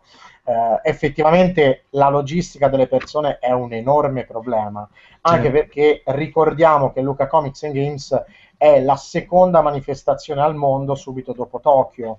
Eh, ha battuto il Comic Con di San Diego quest'anno e quindi capirete bene come gestire una massa informe di nerd brufolosi non è esattamente semplice. Ecco, questo, questo Allora, sicuramente. ma su questo non ci piove Alberto, io eh, anzi guarda, eh, hai, hai- hai- fatto bene a farmelo notare, io eh, mh, lo scrivo e lo dico sempre, eh, giù, giù il cappello eh, verso Lucca, nel senso che eh, hanno fatto una cosa incredibile negli anni, io ci vado da, da, mh, da tanti anni, ci andavo anche quando era molto nerd in un unico capannone fuori e si faceva due volte all'anno, è, è cresciuto enormemente, è secondo me la fiera più bella che c'è al mondo proprio esteticamente grazie a, a Lucca, la città che è di per sé fondamentalmente un'area fieristica incredibile. Eh, mi dispiace molto che, che dall'estero, eh, che all'estero non sia così conosciuta come dovrebbe, eh, fa comunque numeri incredibili in Italia e, e questo eh, so benissimo che non è facile or- organizzare una, una cosa del genere, quindi il cappello per, per- per l'organizzazione Però di, quello- a prescindere. che- l'unica, che cosa, posso- l'unica cosa è appunto l'area game, che tutti gli anni parliamo sempre de- delle stesse cose, mi sembra, eh, io sempre da uno esterno, da il classico vecchietto che rompe le balle e fa, e fa il commentino, mi sembra strano che non si sia ancora riuscito a trovare un- uno spazio alternativo oppure uno spazio diverso per i videogiochi invece che mantenere tutto quanto insieme allegramente. Capisco che è meglio per gli espositori perché la folla, eccetera, però avere la folla inferocita e sudata e grondante e incazzata dentro e fuori perché non si riesce a trovare uno spazio più grande non mi sembra una grande scelta, però chiaramente No, allora, qui- non, qui non diciamo- posso allora. eh, sapere tutto e quindi eh, Allora, lascio a, a chi invece ha le mani in pasta decidere Su- queste cose. Sicuramente ci saranno del- del- delle polemiche anche quest'anno. E ti ringrazio Alberto, grazie mille. Ci, eh, ci risentiremo, ti rinviterò per altri argomenti e anche per riparlare male ancora un po' di Lucca. So che mi amano tantissimo nell'area stampa di, di Lucca, quindi quest'anno non avrò il pass stampa probabilmente e, e ci rivediamo alla prossima volta. Va benissimo, grazie Antonio, grazie a tutti e buona serata. Ciao. Andiamo avanti. Andiamo avanti. Passiamo a Kiro con cui vorrei parlare e sparlare un po', tanto per, tanto per cambiare, di Apple. Eh, la scorsa puntata ne abbiamo parlato pochissimo perché non avevo, eh, non avevo l'esperto giusto e quindi invece questa volta ho invitato Kiro di Mela Morsicata che è un fanboy di prima, proprio di quelli strepitosi. Ehm, io eh, sono anch'io un grandissimo amante di Apple, adesso a parte gli scherzi, ho cambiato da quasi un anno sono passato ad Android per eh, motivi che ho scritto e riscritto, principalmente per il maledetto iOS 7, ma anche perché eh, a livello hardware si è, si è rimasti fermi. E soprattutto mi sono abituato a, a usare schermi più grandi e software più integrati che mi eh, consentono di fare cose più, diciamo, un, un po' più da, da, da, power user. iOS rimane comunque un gran sistema operativo, eh, è stato da poco aggiornato al 7.1, mi chiedo sinceramente eh, questo aggiornamento eh, è arrivato forse un po' tardi, anche perché io invece mi chiedo che diavolo ci sarà su iOS 8 e questa è una delle domande che ti faccio, Kiro, e soprattutto eh, co- cosa pensi che verrà presentato al prossimo eh, WWDC a giugno e come sarà, ormai si è detto tutto, ma come sarà secondo te eh, il nuovo iPhone 6 che dovrebbe essere una piccola rivoluzione in uscita in autunno? Prego, prego Kiro.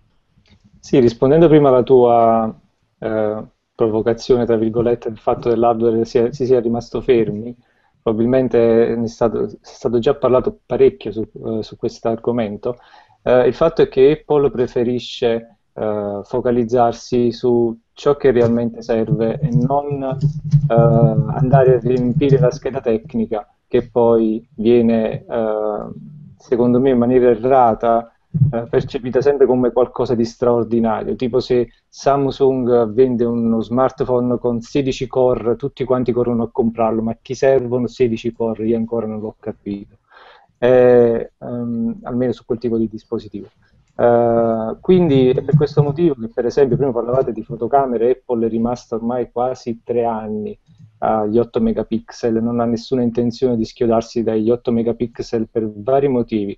Uh, se non si utilizza la fotocamera un po' come fa Nokia con i suoi 43-48, non ricordo neanche quanti sono, megapixel per effettuare lo zoom eh, allora eh, diventa tutto molto inutile andare a potenziare il, eh, la, il, comparto fotocamera se tu devi utilizzare quelle foto essenzialmente sul computer perché nessuno stampa più eh, fotografie, quindi non so, studiare gli 8 megapixel diventano un po' inutili. Eh, per quanto riguarda iOS 7.1, sì, probabilmente è uscito con molto ritardo, ma eh, bisogna considerare che mh, a differenza di altre società Apple non investe eh, almeno al momento mh, tantissime eh, risorse sull'aumentare il team di ingegneri su iOS. Eh, il fatto è che la maggior parte dei suoi dipendenti, anche se gli 86.000 e oltre dipendenti, Uh, sono nell'azienda, la maggior parte lavora nei negozi. Non immaginate il campus di Apple come il team di 300-400 ingegneri, perché non è così. Basti pensare che il team di, uh, dedicato allo sviluppo del design è formato da appena 12 persone. Uh, in realtà non sono tantissime persone parte deve lavorare alle caratteristiche che verranno incluse nel, pro- nel, prossimo cambio generazionale del sistema operativo e parte deve migliorare quello che già c'era. Quindi eh, sono, con questo non dico che Apple è giustificata a lanciare gli aggiornamenti con lentezza perché non lo deve fare, perché guadagna tantissimo, si fa pagare tantissimo, dovrebbe rilasciare gli aggiornamenti giorno dopo giorno, anche se questo naturalmente farebbe poi arrabbiare le persone che dicono ah guarda qui Apple ha rilasciato un nuovo aggiornamento, quindi devo stare di nuovo qui ad aggiornare. Uh, iOS 8 uh, al momento non abbiamo informazioni ancora naturalmente definitive, uh, è ovvio che ci sia, è nato, e lo utilizzano gli ingegneri perché il 2 giugno ci sarà il WWDC, quindi per quella data deve essere mostrato almeno nella sua prima versione beta che poi sarà rilasciata agli sviluppatori e poi migliorata fino almeno se si riprende la scaletta degli anni precedenti fino a settembre dove poi verrà rilasciata la versione definitiva sempre tra virgolette con bug più o meno gravi. Io, io eh, farei rispondere Antonio Fuzzito. Di, di, dimmi che la tua su, su iPhone 6 e WWDC Vabbè, WWDC ehm, deve per forza essere il punto di svolta di Apple, nel senso che mai come quest'anno i primi mesi del, della casa di Cupertino sono stati molto tranquilli rispetto anche al passato. C'è stato già un paio di anni fa lo shifting dell'uscita dell'iPad, dell'iPhone stesso, da marzo a ottobre-novembre per l'iPad e da giugno a settembre-ottobre per l'iPhone. Quindi comunque eh, c'è da dire che secondo me un po' di, di, cose insieme, dalla morte di Steve Jobs che ormai è di quasi tre anni fa, al passaggio di mani, al licenziamento tra virgolette di Scott Forsall e compagnia, ci sono stati diversi cambiamenti all'interno di Apple e dall'altro lato sul mondo Android c'è una corsa sempre maggiore a, a rosicchiare quote di mercato e eh, anche con un marketing estremamente aggressivo. E quindi iOS 7 che è stato comunque un grande cambiamento dal punto di vista soprattutto estetico più che di funzionalità ha portato a notevoli ritardi. Io ho provato la beta di iOS 7.1 in realtà ehm, a fine novembre, se non sbaglio, e già quella beta, che era la prima, con tutti i bug di sorta, era nettamente superiore alla versione 7.0. Nonostante questo, Apple ci ha messo altri tre mesi e mezzo, quasi quattro, per far uscire la versione finale per tutti quanti gli utenti. Quindi è chiaro che questo periodo è stato molto di transizione, molto di mh, ristrutturazione in termini di eh, strategie aziendali, perché lasciamo perdere poi che comunque iOS, iPhone, iPad e compagnia vendono tantissimo, quindi comunque è un non problema in termini di fatturato, guadagno e quant'altro. Apple rimane una delle top 5 aziende del mondo come valore e come fatturato. Però è chiaro che l'arrivo di Jonathan Eve e tutti questi cambiamenti hanno portato un po' ad Apple a saltare quella sua tabella di marcia nella, mh, dove fino a quel momento invece era stata sempre perfetta, speciale, sempre senza alcun problema ed era sempre stata apprezzata dagli utenti il fatto che comunque il supporto estremo per anche cellulari vecchi, aggiornamenti costanti, pochi bug, usabilità ai massimi livelli. Col cambio in iOS 7 ci sono stati diversi problemi. iOS 8 secondo me sicuramente non avrà di questi problemi, sarà un affermare e un consolidare questa strategia che è cambiata completamente con, col cambio di timone dei vari vicepresidenti.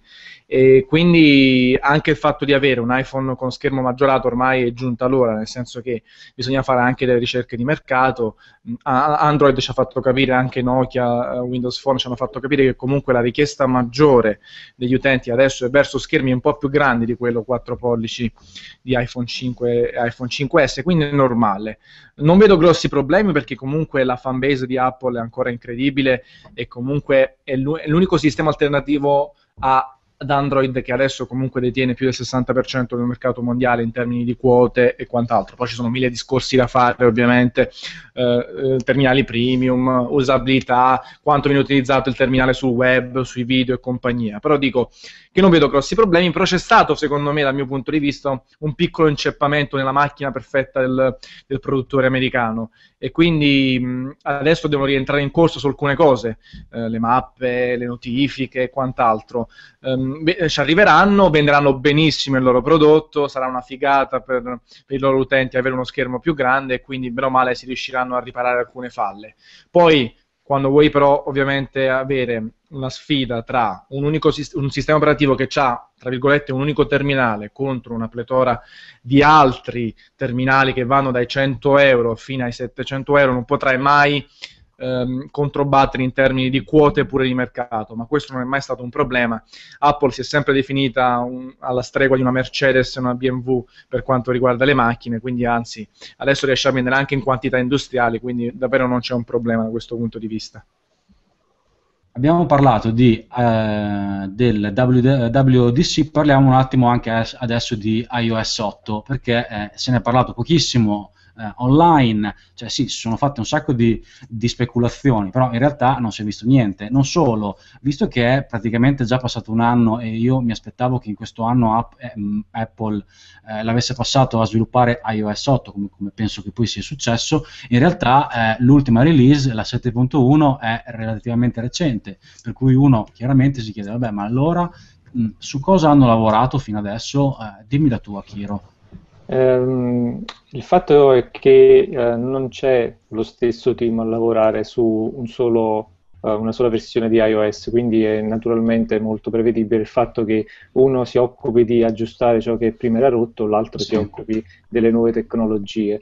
Uh, iOS 7.1 uh, credo, cioè, dal mio giudizio, doveva essere già rilasciato alcuni mesi fa, ma Apple ha preso un po' di tempo anche per la questione della uh, CarPlay, la tecnologia che viene integrata all'interno delle auto. Probabilmente stava sì. aspettando l'inizio del salone di Ginevra per presentare questa tecnologia. Uh, quindi probabilmente sarà stato per questo motivo commerciale il l'insorgenza del ritardo, ma eh, quello che ci interessa a noi è il 2 giugno, quando inizierà il WWDC, in cui dovrebbe essere presentato, dico dovrebbe perché ovviamente fin quando non arriverà quel giorno non avremo mai la conferma, iOS Chiaro. 8 che la prossima generazione, il grosso aggiornamento che verrà rilasciato eh, in quei giorni nelle prime versioni beta per poi arrivare alla versione definitiva molto probabilmente come l'anno scorso eh, verso settembre.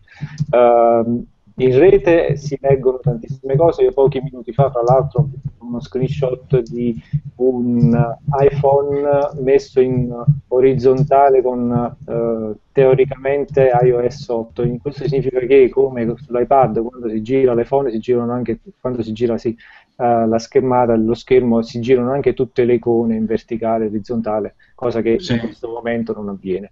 Uh, non so se quello, quello screenshot è vero perché in questi giorni ci saranno, come nei prossimi mesi, tantissime speculazioni, persone che inventeranno naturalmente funzionalità e altro per fare un po' di visite, come avviene sempre ogni anno, e quindi bisogna sempre fare molta attenzione a incrociare un po' le fonti per vedere ciò che è vero e ciò che è no. Uh, per esempio, incrociando le fonti, noi sappiamo che Apple sta pagando profumatamente eh, alcuni esperti del settore medico e dei sensori perché ha intenzione di integrare queste tecnologie all'interno dei suoi prodotti, si vocifera con l'iWatch, ma è prevedibile che sia disponibile anche nel prossimo iPhone 6 in cui sì. eh, um, tutto verrà gestito attraverso un'applicazione che dovrebbe chiamarsi pa- uh, Artbook, uh, simile a Passbook per i biglietti uh, elettronici, ma questa volta dedicato alle informazioni mediche dell'utente. Ciò permetterà di costruire tutta una serie di funzioni, applicazioni eh, servizi dedicati alla salute dell'utente. Per esempio qualche giorno fa vedevo un brevetto di Apple che permette di chiamare automaticamente eh, i soccorsi 118 o 911 in America eh, nel caso in cui i, i, sensori rilevano che il guidatore eh, ha un malore mentre guida, quindi anziché andare a cercare aiuto il telefono lo fa automaticamente perché vede che in quell'istante il guidatore non può farlo. Sì. Uh, questo è, tanto, è, solo un esempio di tante, le tante applicazioni, naturalmente c'è quella sportiva, quella uh, del fitness, uh, della salute personale. Sì. Poi abbiamo... No. A, a, livello core del sistema operativo, funzionalità nuove, magari una maggiore integrazione eh, tra, le, eh, tra, le, applicazioni, che è la cosa sente, cioè, di cui si sente più il bisogno, secondo me, chiaramente, da, da power user, cioè un po' quello che è Intense su, su Android, la possibilità per ogni applicazione di essere vista d- dalle altre applicazioni in modo tale che quando fai uno share o vuoi salvare un file o, o aprire un file con un'applicazione particolare non sei legato alle due che ha scelto Apple, cioè Facebook e Twitter, ma sei aperto a tutto quello che magari hai installato, per cui Google Plus piuttosto che eh, Ciccio Palla, cioè qualunque roba installata ha la possibilità di aggiungere il proprio share e la sua condivisione. Eh, questo mm, così funziona su, su, Android, così sarebbe bello che funzionasse anche su, su, iOS, piuttosto che altre funzionalità core del sistema operativo cui, eh, in, su cui si sta, mi sembra, lavorando praticamente zero negli ultimi mm, anni. Eh, cosa dici tu? Sì, questa è una delle funzionalità che gli utenti chiedono di più, fra l'altro non è solo una caratteristica di Android, ma anche di Windows Phone. Eh, si è fatto qualcosa negli ultimi anni di molto leggero, nel senso che le applicazioni possono mandare un file a un'altra applicazione per una successiva elaborazione eh, e poi tornare indietro. Questo è il massimo che si può fare, non c'è un vero e proprio eh, centro integrato utilizzabile da tutti gli sviluppatori.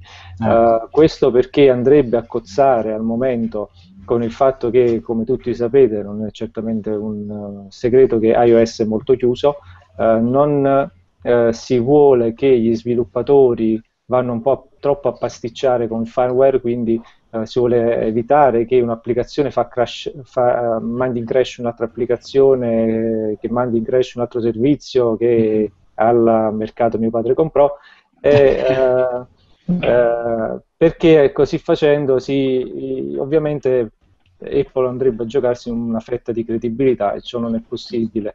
Sarebbe opportuno che fosse fatto. Io sono tra coloro desiderano questa, questa integrazione, eh, credo sia difficile farla, credo che invece però sia possibile anche perché Apple, ricordiamo, è eh, ricchissima e eh, quindi può permettersi tutti gli sviluppatori che vuole, tutti gli ingegneri che vuole per farlo, solo se lo volesse naturalmente. No? Credo che eh, dipenda ah, da una, da una, scelta strategica dell'azienda. Uh, è ovvio che sarebbe molto utile, basti pensare con il sensore Touch ID al momento, a differenza di Samsung che lo permette di utilizzarlo anche a PayPal, Touch ID è utilizzabile solo da, da, da, Apple e quindi si spera che tutta una serie di funzioni siano in realtà uh, rilasciate agli sviluppatori, così come si vocifera ormai da um, più di un anno il fatto che Siri dovrebbe in qualche modo andare a supporto degli sviluppatori ed essere integrata nelle applicazioni e sì. non solo a livello del sistema operativo. Sì, questo mm, diciamo che eh, quello che mi lascia un po' sempre ehm, non, non, soddisfatto di Apple nel, nel, nell'ultimo, nell'ultimo, anno e mezzo, barra due anni, eh, è appunto questa eh, carenza sul lato proprio del sistema operativo e delle funzionalità core del sistema operativo, che, non, che, non, che lasciano eh, comunque, diciamo, hanno le, le funzionalità giuste e, e, complete per l'utente, diciamo, eh, normale. E invece il, il, power user purtroppo si ritrova a dover scegliere praticamente obbligatoriamente eh, Android che offre appunto un'integrazione migliore tra, tra, tra le applicazioni e anche altra cosa che manca ancora ad iOS, ma qui diciamo un po' più spiegabile, è un file system accessibile, cioè un finder vero dentro il telefono che ti permette di guardare i tuoi file, magari con accesso chiaramente unicamente proprio, al proprio home folder però anche questo ancora manca, quindi io, la gente fondamentalmente su iOS usa Dropbox per scambiare file tra, tra applicazioni ed è, ed è, una follia perché questa cosa ti costringe ogni volta a uploadare il file sui server di, di Dropbox, riscaricarli da un'applicazione all'altra piuttosto che mi sembra che eh, avrebbe più che senso per Apple sviluppare mh, queste funzionalità. Posso forse arrivare a capire che non vuole complicare troppo la vita ai propri utenti, però mi sembra che ne, ne stia anche perdendo. Eh, accanendosi su, uh, su, questo punto.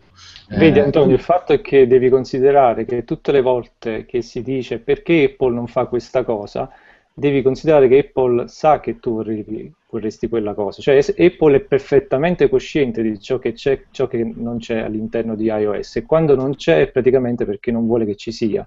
Sì. Basti pensare che fino a qualche anno fa io utilizzavo tranquillamente iDisk che era una funzione di, dell'allora Mobile Me che permetteva di caricare file come Dropbox ancora prima di Dropbox, sì. mentre adesso iCloud non permette di, di, di, utilizzare questo tipo di opzione. Questo non significa che Apple non ci ha pensato a crearla, semplicemente prima c'era, adesso non c'è, quindi mi viene da pensare che Apple l'ha tolta di proposito. Non sì. so se adesso verrà introdotta successivamente, ma c'è qualche motivo eh, per cui l'ha fatto che naturalmente non eh, conoscendolo fa arrabbiare perché dice pu- pu- puoi benissimo dire lo vorrei, lo puoi, lo puoi mettere, perché non lo fai, allora ti arrabbi e sì. ovviamente ciò io... porta anche al passaggio ad Android, come hai detto tu. Sì, io credo che rientri nel, nel piano di Apple di babbanizzazione un po' della, della, della sua utenza, quindi di, eh, diciamo di ehm, abbandono del concetto stesso di file per invece arrivare a, a, un concetto molto più semplice per gli utenti, chiaramente, dove fondamentalmente le cose che puoi fare sono le applicazioni e i progetti dentro alle applicazioni. Quindi tu non salvi mai il file inteso come entità astratta, no? il nome del file, l'estensione, piuttosto che si sta andando in quella direzione dove semplicemente apriremo l'applicazione per scrivere e dentro avremo i nostri progetti di scrittura sempre sincati, che in realtà è già così. E quindi si sta un po' allontanando da, dal concetto di, di, file e lo fa anche non offrendo questa possibilità che invece, come dicevi giustamente tu, prima c'era. È, un, è una strategia che io chiaramente da power user non non condivido per niente, però posso capire che effettivamente a lungo andare, andando verso un sistema operativo anche desktop sempre più eh, babbano friendly, no? chiamiamolo così, eh, probabilmente premierà, anche perché si vede che eh, i tablet, che è un mercato che hanno inventato loro e su cui appunto eh, que- questi concetti non, mh, mm, non servono, eh, funzionano bene anche perché sono assolutamente super friendly, facili da usare, eccetera. Quindi mi sembra che eh, in realtà il mercato, il grande mercato ampliato eh, di eh, mamme, sorelle e babbi e nonni e, e chiunque passa per la strada mi sembra che li, li, stia premiando alla grandissima, quindi eh, su questo non ho niente da dire. Chiaramente però io finisco su, eh, su, eh, su, altri device, inevitabilmente, come un po' tutti i nerd, mi sembra. Nerd sempre usato nella, nella sua accezione più, più, più, più stupida, però, cioè, però, questo è. Gli smanettoni si trovano meglio su Android, questo è una, una, verità, una verità innegabile. Tu Antonio volevi aggiungere qualcosa? So che tu sei un altro fanboy di Apple eh, di primo pelo proprio. No, sono una persona che, che ne capisce. Detto Eh. questo, detto questo, no, è una questione di filosofia. A parte che ho anche Android, ho Windows, ho tutto perché mi piace la tecnologia, quindi non potrei rimanere soltanto su Apple, assolutamente. Poi per l'uso generico scelgo quello che mi dà una cosa migliore in termini di design, usabilità. Non voglio rotture di palle e so che anche se sono limitato, quando uso un Mac o uso un iPhone sto tranquillo, faccio le mie cose e amen. Quando devo fare roba un po' più personalizzabile o roba un po' più complessa, allora ovviamente divento programmatore, divento, uso sistemi che mi permettono di farlo. E alla fine Apple, e questa è una questione di filosofia, perché diceva bene eh, Kiro, nel senso che da un lato è la volontà di implementare ogni cosa nella, mi- nella migliore delle maniere e al di là di iOS 7.0 che invece ha avuto dei problemi, Apple è conosciuta e nota per garantire un'esperienza utente inarrivabile, completa, perfetta, senza problematiche di sorta, dai virus ai registri a semplicemente a una coerenza di tutte le applicazioni che usi. Tu ne utilizzi una e sai come funzionano le altre applicazioni. Questo l'ha sempre fatto Apple, che di contro non ti ha mai dato troppa personalizzazione, il cosiddetto giardino recintato, un bel giardino grandissimo, bello eh, da coltivare, però poi non ci puoi uscire fuori. Dall'altro una strategia, perché loro vogliono che gli utenti rimangano all'interno del loro ecos- ecosistema. Come lo fai talvolta? Anche facendo cazzate, non permettendoti di cambiare il browser di sistema, non permettendoti di cambiare il programma di mail di sistema, avendo le password integrate con Safari nei vari sistemi, di conseguenza tu sei portato a utilizzare i loro programmi, perché altrimenti devi adattarti, devi fare dei compromessi. Quindi sono strategie barra scelte di design che non sempre pagano, ma secondo me il problema di Apple non è manco quello, il problema è il prezzo, loro vendono soltanto cose premium, secondo me potrebbero tranquillamente rimanere con questo sistema operativo limitato quanto vuoi e al di là dei fanboy o degli esagitati Android o i super hardcore, venderebbe tantissimo qualora avesse dei cellulari da 200-300 euro. Secondo me è un problema che lì ti posizioni in un mercato premium. Puoi cercare al massimo di tenere gli utenti sul tuo sistema dando delle innovazioni, avendo il design bellissimo, la super fotocamera o quello che è. Però finché stai soltanto sui 700 euro per quanto riguarda i cellulari, il tuo mercato sarà sempre più piccolo rispetto a chi riesce ad aggredire tutti i mercati. E poi iOS deve essere migliorato, non ci, non ci piove, sono il primo a dirlo perché mi girano le palle per mille che non posso cambiare il mio browser di sistema, questa è una cazzata, non c'è nulla da dire. Però secondo me eh, sono due filosofie differenti, entrambe coesistono, c'è chi preferisce usabilità e design, chi preferisce personalizzazione ma d'altronde anche se c'hai Android stock sei un po' legato a Google, non è che poi ti distacchi più di tanto. Quindi sono, Esatto. scelte, filo- sono scelte filosofiche, amen. Secondo me è una questione di posizionamento sul mercato. Chiudo dicendo, iOS 8 conferma assolutamente il fatto che è in super sviluppo perché io ho avuto modo qualche anno fa di avere anche accesso, ho diversi amici che sviluppano a Cupertino per Apple ed effettivamente la roadmap da qui già c'è anche sviluppo iOS 9 e probabilmente anche iOS 10, quindi sono due binari completamente differenti e quindi non vanno a inficiare l'uno sull'altro. Sicuramente bisogna ri- recuperare un po' in termini di ehm, sicurezza del sistema, di eh, eliminazione dei bug che Apple è sempre stata famosa in questo, in iOS 7 invece ha, fatto, ha dimostrato le sue magagne. Sì, sì. Io ehm, ho poco da, da aggiungere su Apple, eh, ne parleremo sicuramente anche nelle prossime puntate. Tra l'altro, la prossima di maggio sarà la prima, eh, sarà- verrà p- poco prima del, del WWDC, per cui parlerò ancora alla grande di Apple. Vi, vi reinviterò e, e sarete liberi di, di tifare per, per- per la vostra parte. Eh, comunque, andiamo avanti. Andiamo avanti con un altro ospite che è Alberto Belli. Eh, Alberto Belli è il, eh, allora, è il Executive Director eh, di eh, Storm in Aticap, che è questo nuovo studio italiano di sviluppo videogames indipendente, nato da poco, che è un po' su tutti online, su tutti i siti principali e anche sulle riviste, eh, grazie uno alla bravura di Alberto, che, che è un che che è un PR con, eh, con, eh, con i controfiocchi, e due, anche grazie alla qualità ehm, del videogioco che stanno sviluppando, che si chiama Nero, e di cui vorrei Alberto ci, ci presentasse in, in generali le, in generale le eh, particolarità. Sì, eh, intanto ciao, prima di tutto. Ciao Alberto. Secondo poi, beh, in realtà è più nero che Alberto, perché poi i PR senza i giochi belli mm, fanno fanno poco e niente. E, mh, Nero è, vabbè, intanto è il primo, il primo progetto annunciato dello studio. Eh, l'abbiamo annunciato a febbraio come una visual novel, quindi una visual novel in prima persona che mh, al momento attuale visual novel vuol dire un sacco di cose, ma vuol dire anche poco in realtà, che viene associata spesso a diciamo, discorsi molto giapponesi, eh, iconografici, quindi c'è, c'è anche modo di, Sì. di- di- con questo posizionamento diciamo, c'è anche modo di definire un po' anche qualcosa di nuovo, infatti è un, diciamo, un gancio di comunicazione che abbiamo utilizzato eh, a San Francisco recentemente perché a San Francisco diciamo, abbiamo eh, portato la prima build, la prima build del gioco. Ehm, l'abbiamo Sì. fatta vedere a- alla stampa e ai publisher. Diciamo sembra di siamo- averla vista, mi sembra. Sì, c'era, c'era anche qualche italiano, tipo un paio, sì, quindi stata vista ecco, dalla stampa e publisher. Diciamo, siamo molto contenti, intanto perché eh, San Francisco non era prevista in realtà, quindi ehm, siamo stati invitati, tra virgolette, a portare qualcosa di giocabile, che insomma è una, è una cosa buona quando ti chiedono di, di- di far vedere qualcosa, cioè, insomma, poi lo sai, ecco.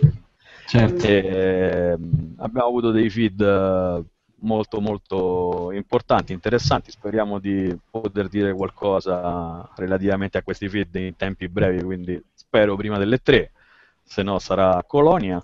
E Sì. Siamo al lavoro, siamo, siamo indipendenti, come dici tu, nella misura in cui la nostra indipendenza comunque fa i conti con una realtà che è fatta di, di stipendi, bollette, Eh, certo, infatti adesso ti chiedo subito su lavoro, questo. eccetera, eccetera, quindi noi siamo, siamo entrati in produzione di fatto e Ma quindi, vediamo, eh, vediamo come va. guarda, ri- eh, rimango un, un minimo ancora sul gioco perché non ho capito bene. Cioè, fondamentalmente, quindi è. mm, L'abbiamo presentato come un uh, merge tra Journey a livello di esperienza, quindi tutto quello che c'è quando la console la spegni e cominci a parlare del tuo viaggio, dei tuoi- delle tue emozioni, dei tuoi sentimenti, eccetera, eccetera. Eh, Myst, in prima persona. Perché di fatto è in prima persona ed è un gioco che è basato sul puzzle solving e sull'esplorazione che sono strettamente connessi a- all'esperienza stessa. Dicevo prima, è Avatar perché beh, diciamo che il mood è abbastanza evidente. In realtà non è voluto, Avatar era solo una delle tante reference, però diciamo che tra bioluminescenze, eh, cielo un po' così, piantine, animaletti, eccetera, eccetera, cioè, l'obiettivo Avatar come mood più o meno è stato è stato centrato, ecco, quindi noi la- l'abbiamo proposta così. È un- un'esperienza molto particolare, è un, eh, è un gioco che abbiamo deciso di fare non tanto perché appunto dei- siamo romantici indipendenti, ma anche perché ci sono stati fatti degli studi a monte, quindi analisi di mercato, tutta una serie di, di cose che si fanno prima di Sa- aprire un'azienda e diciamo che c'è Sarà un single filone... immagino. Scusami? Giusto? Solo single player, immagino. Sarà Mul- solo single player, questo l'abbiamo multipiattaforma, su quali piattaforme? È un- l'abbiamo annunciato come multipiattaforma perché in realtà stiamo parlando con tutti i platform holder. eh, il- al momento il gioco è multipiattaforma, poi vediamo se cambia qualcosa con i famosi annunci di cui parlavo su, prima. cosa, su cosa lo state sviluppando? Su, su- su un engine conosciuto? Su Unity. Su Unity, questa è una delle... aperti. Sì, no, la cosa, la cosa, uno dei tanti feed eh, belli che abbiamo ricevuto poi è, proprio relativamente alla tecnologia, perché tante persone si sono sbagliate pensando che fosse Unreal, perché poi di fatto Unity lo stiamo, lo stiamo abbastanza ribaltando, quindi insomma siamo, Beh, siamo Unity felici. ormai, ormai è lo standard per, eh, per- per gli indipendenti. Ero alla, alla Game Connection e eh, non si parlava d'altro, quindi direi che eh, ormai se non fai un gioco in Unity Sì, sei uno sfigato. l'abbiamo utilizzato per, eh, per- anche per una questione di praticità, nel senso purtroppo e per fortuna, come dicevo, San Francisco non era prevista. Noi cioè, ci siamo trovati praticamente a fare la produzione sulla preproduzione in, in nemmeno una giornata di lavoro perché ci è arrivata una telefonata che ci ha scombussolato un po' tutti i piani. Unity è comunque una soluzione più, diciamo, easy a tutti i livelli, anche banalmente per trovare gente che lavora comunque. Direi, Poi- infatti, ma a, a che punto dello, de- dello sviluppo siete? Cioè, mh, eh, più o meno, la, la- diciamo... Il gioco è- esce l'anno prossimo, quindi Q1 2015. Eh, Ok. Noi abbiamo cominciato a lavorare sul gioco quando abbiamo fondato l'azienda, quindi a ottobre dell'anno scorso, però a livello di documentazione, concept, eh, design, eccetera, eccetera. Operativamente abbiamo iniziato a febbraio, perché poi nel mentre abbiamo strutturato un po' la società, abbiamo costruito l'ufficio perché non ce l'avevamo, quindi noi l'abbiamo proprio costruito da zero.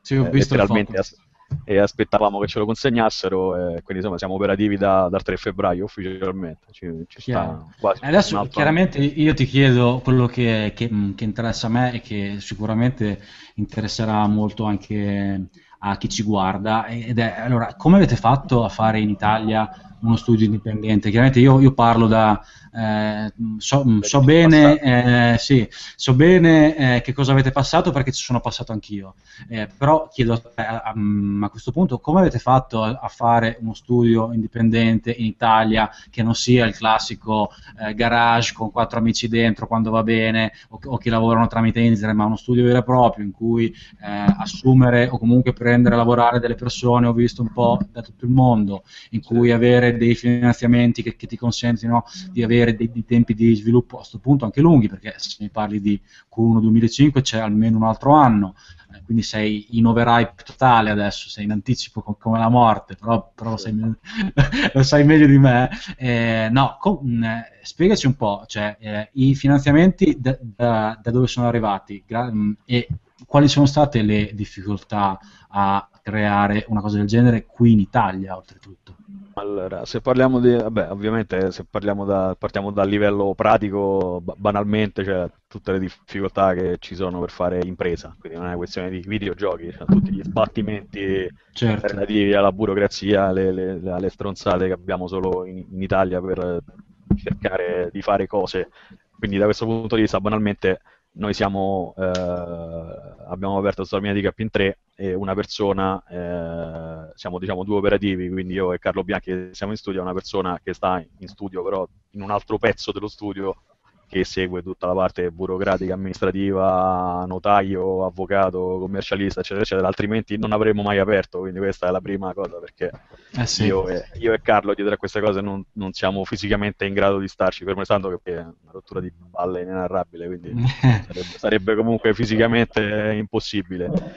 Per il resto è tutta una serie di coincidenze anche se vogliamo, nel senso io comunque sono stato fuori parecchio tempo e sono tornato a Roma a casa l'anno scorso con l'idea di cercare fondi per aprire uno studio mio, perché poi insomma pare che, sì. negli, anni, pare che negli anni qualche soldo sia riuscito a trovarlo per altri, quindi siccome sono tanti anni che faccio trovare soldi ad altri e guadagnare soldi ad altri, dai, dici, arrivi a 35 anni e fai, boh, magari provo pure un po' fare le cose mie per una volta. E quindi ho cominciato un po' a, a girare, mi sono dato una scadenza, diciamo, a sei mesi prima di andare in Inghilterra, dove ho rischiato di andare a lavorare svariate volte negli ultimi anni. E, ci siamo trovati con Carlo, che è un altro, un altro italiano di rientro, perché lui è stato quasi dieci anni all'estero, ha lavorato ha lavorato in Ubi, era capo dipartimento, insomma 40 persone sotto, ha lavorato in Crytek, ha lavorato in Warner, quindi uno, molto, uno degli artisti più talentuosi con cui ho avuto a che fare in tempi recenti. Si siamo trovati, lui aveva un design che non era nero in realtà pronto, però insomma ci siamo messi là a discutere siccome anche lui aveva intenzione di fare una cosa sua dopo tanti anni siamo trovati a fare un po' di analisi, un po' di analisi di mercato, quindi numeri alla mano, se è nero poteva avere una logica eh, appunto a livello di mercato. Sì. Abbiamo fatto un attimino i conti per vedere se la cosa era fattibile anche economicamente, perché poi alla fine si tratta, si tratta di quello. Siamo riusciti a trovare i fondi privati, ovviamente, che ci servivano. Abbiamo messo in piedi lo studio nel, nel, nel, giro di un'estate. Sì. C'è un, piano, c'è un, piano, industriale, ovviamente, a 5 anni, ci sono degli investitori eh, ci sono una serie di progetti e niente, Nero è il primo, quindi Ma sono... cominciato... Che, mm, chiaramente sono cazzi tuoi, per cui puoi, puoi, puoi anche rispondermi eh, nulla, però sono investitori privati, sono venture capital, sono investitori no, esteri. No, no, privati, privati, te l'ho detto, sono tutti fondi privati, quindi in realtà fondi? Non, è che siamo, non è che siamo chiusi a... Insomma, se arriva il venture capital ci parliamo volentieri, però poi comunque quando il progetto è nato all'inizio era un progetto che avremmo dovuto portare in, a termine dal concept alla release in autonomia. Poi se le cose cambiano strada facendo, come infatti è avvenuto, eh, insomma uno ci, ci, si regola un attimo intorno. Però l'idea all'inizio era quella di far tutto da soli, sì. che poi di fatto è, diciamo, è il worst case, no? Nessuno ti dà i soldi, certo. nessuno ti caga, nessuno ti guarda, però sai che comunque il, il, tuo progetto lo sai fare e la maggior parte del tempo l'abbiamo speso proprio su questo, insomma, sulla fattibilità, perché poi ad annunciare le cose in Italia, come saprai bene pure te, sono buoni quasi tutti. A finirle è un altro discorso.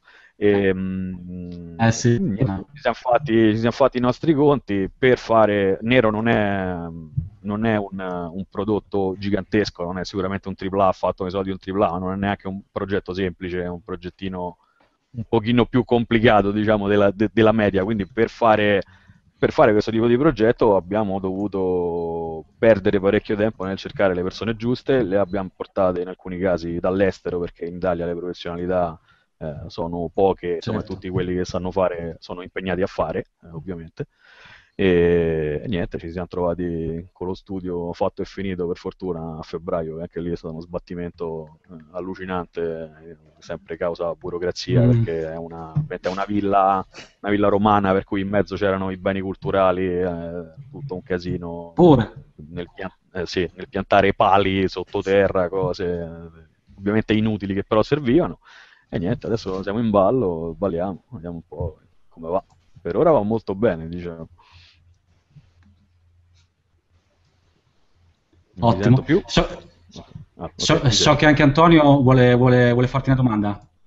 No, maledetto Antonio. no, io sarò il tuo primo giudice positivo e negativo, no? scherzi a parte. Il progetto è interessante.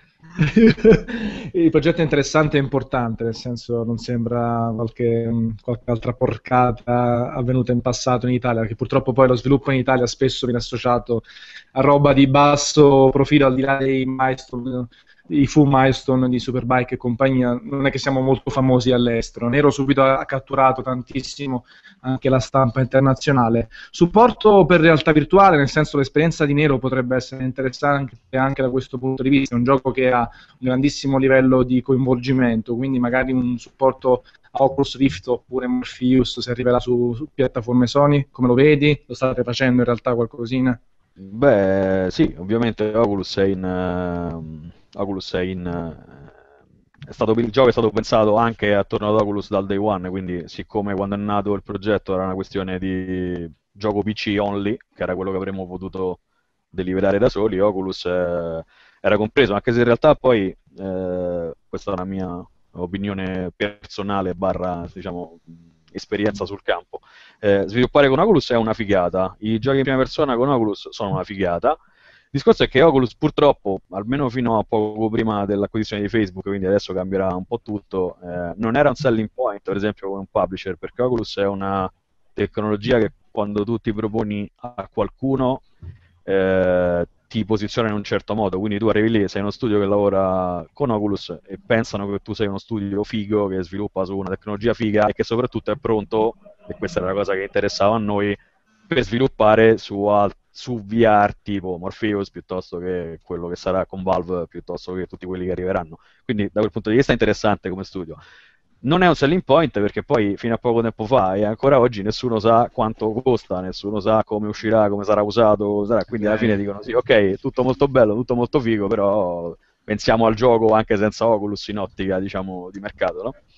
Però insomma che sia, che sia, qualcosa che con Facebook probabilmente cambierà tutto è poco mai sicuro, quindi noi insomma, ci stiamo, tra l'altro abbiamo abbastanza anche abbiamo fatto diciamo, il nostro Crystal Cove prima che arrivasse Oculus, quindi da quel punto di vista siamo anche abbastanza skillati perché poi il nostro lead programmer è una persona che ci sta abbastanza dentro, inglese, era, l'abbiamo preso proprio perché lui era molto dentro al discorso VR, ha fatto le sue cose da solo, ha lavorato già su Next Gen, quindi insomma, stiamo, da quel punto di vista siamo anche piuttosto avanti rispetto ad altri.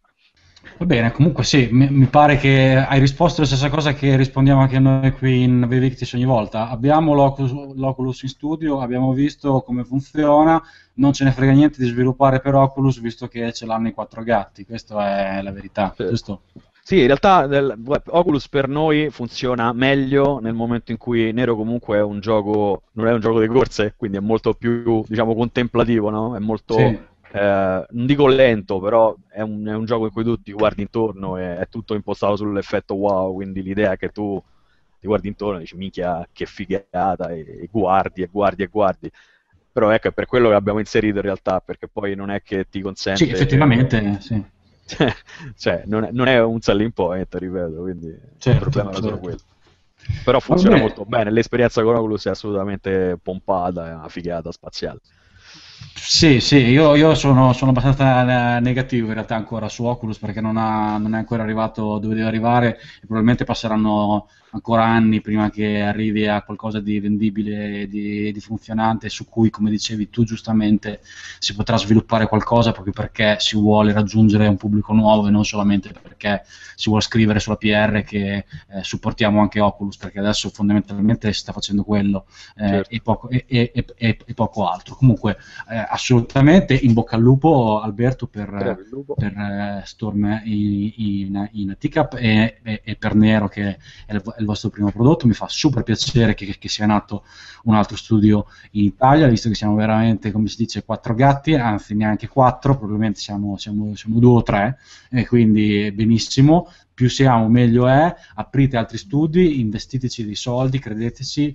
So che eh, c'è, c'è tanta gente in Italia che eh, vuole entrare nel mondo dei videogame. Se non riuscite a farlo in Italia, andatelo a fare all'estero, fatevi la vostra gavetta e poi tornate in Italia, aprite un diavolo di studio e fate lavorare i tanti giovani che stanno cercando eh, in, in questi anni. Detto attenti questo, alle imitazioni, attenti ai corsi strani.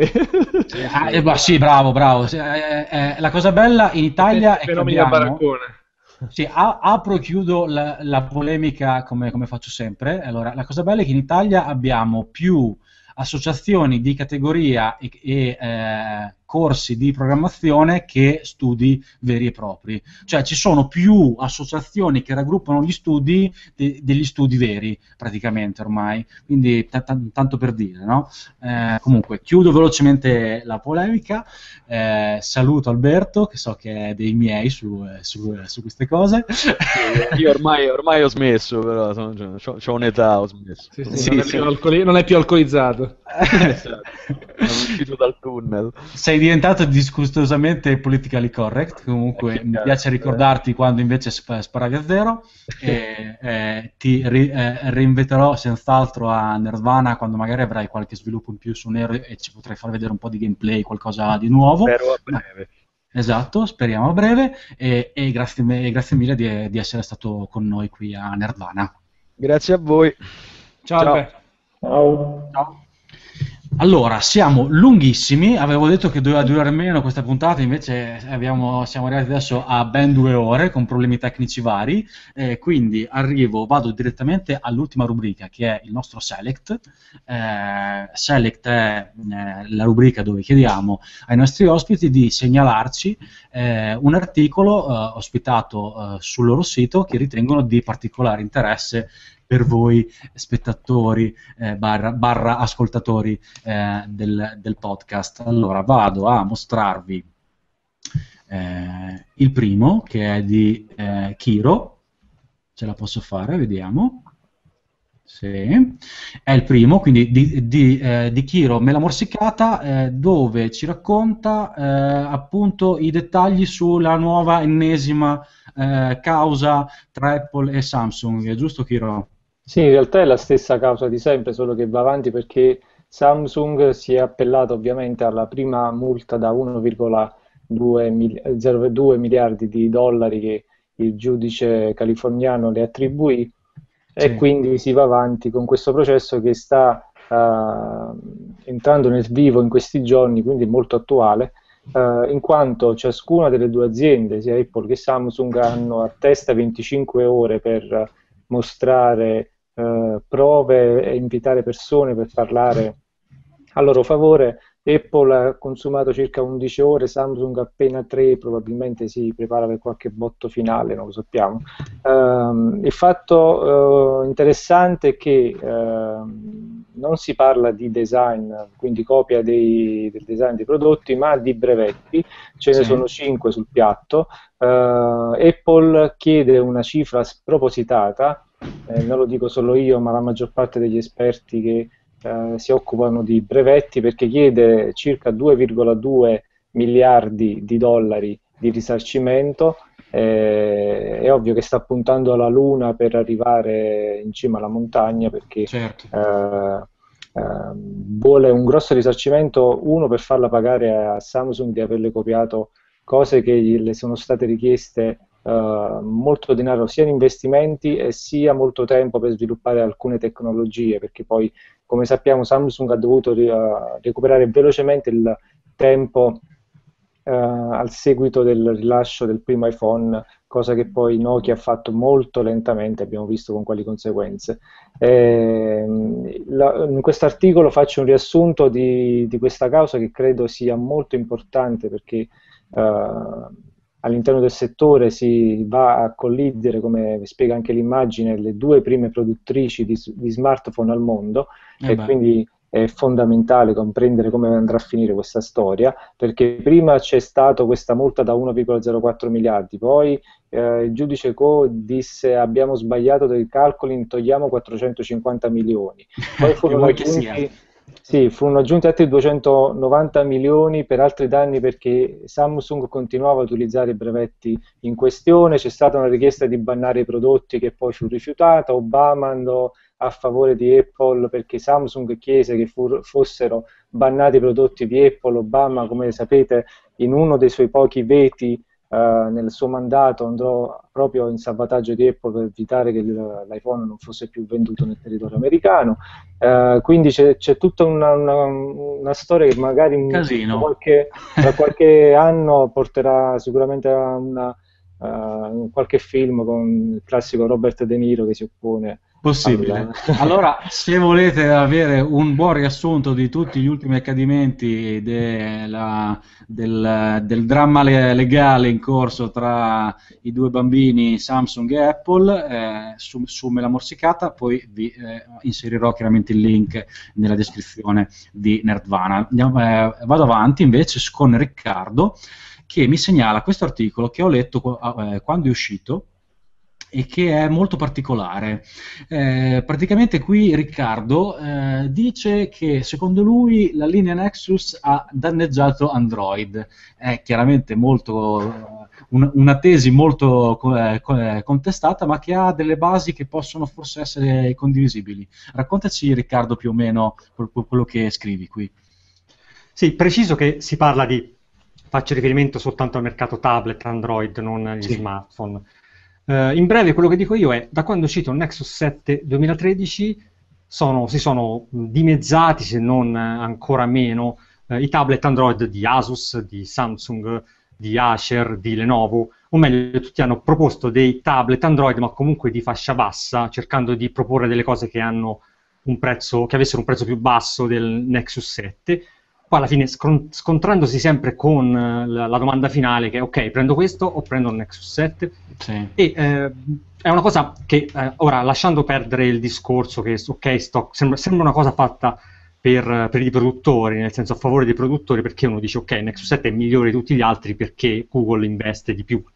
Ma in realtà, conti fatti, eh, noi da un anno praticamente non abbiamo più eh, tablet Android di fascia alta, tranne magari il modello Sony o, o non so, non mi viene a mente nessun altro. Sì, pochissima roba. Tra l'altro stiamo ancora aspettando il Nexus 10, per cui è vero, Sì, ma anche. Asus, anche Sì, Asus sì. prima faceva i transformer eh, con tastiera che ok erano molto criticabili, però insomma erano comunque un'alternativa eh, di, di valore, di pregio, molto rifiniti, molto fighetti e adesso si, si va avanti con eh, prodotti da 150 euro, anche oggi ha- ieri Acer ne ha presentato uno, oggi ne è uscito un altro, Asus ha inserito all'interno dei suoi tablet il processore Rockchip che è quello che si compra nei mini, nei mini PC cinesi, cioè pieno di bug.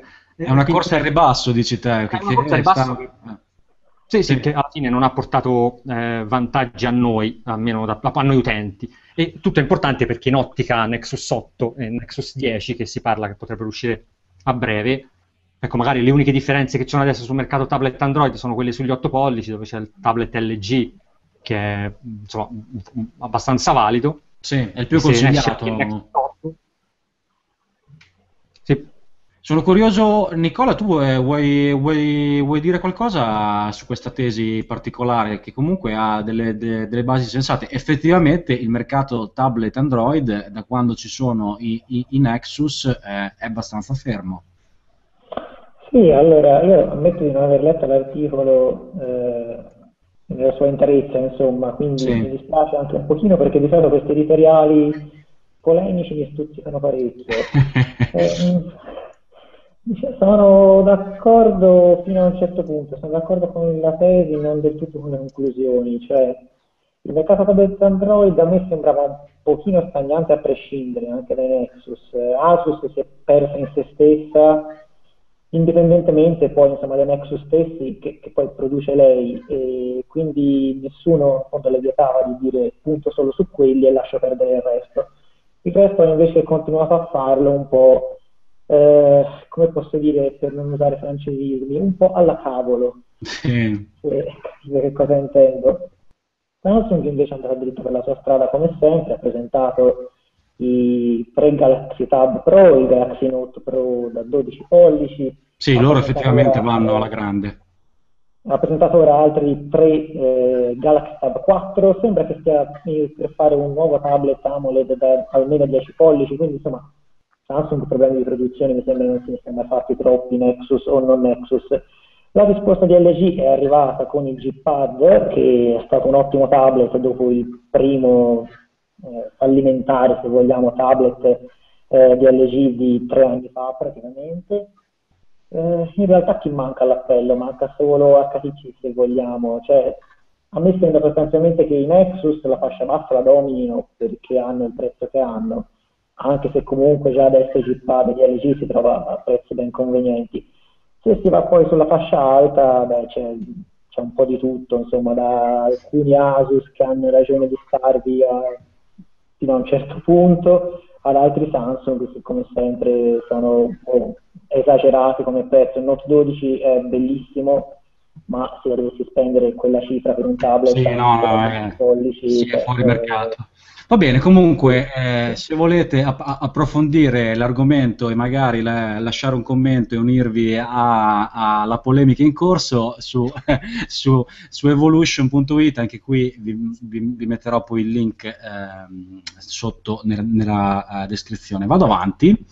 Vado avanti con, eh, ritorniamo da, da Nicola che invece ci segnala un articolo su eh, OnePlus One che è, è il terzo incomodo nei, nei telefoni per nerd, no? Abbiamo parlato prima di Oppo, abbiamo parlato di Xiaomi, adesso arriva anche OnePlus One, che è eh, OnePlus è l'azienda, se, se- se non sbaglio, One invece è il primo, è il primo telefono che, che producono, giusto?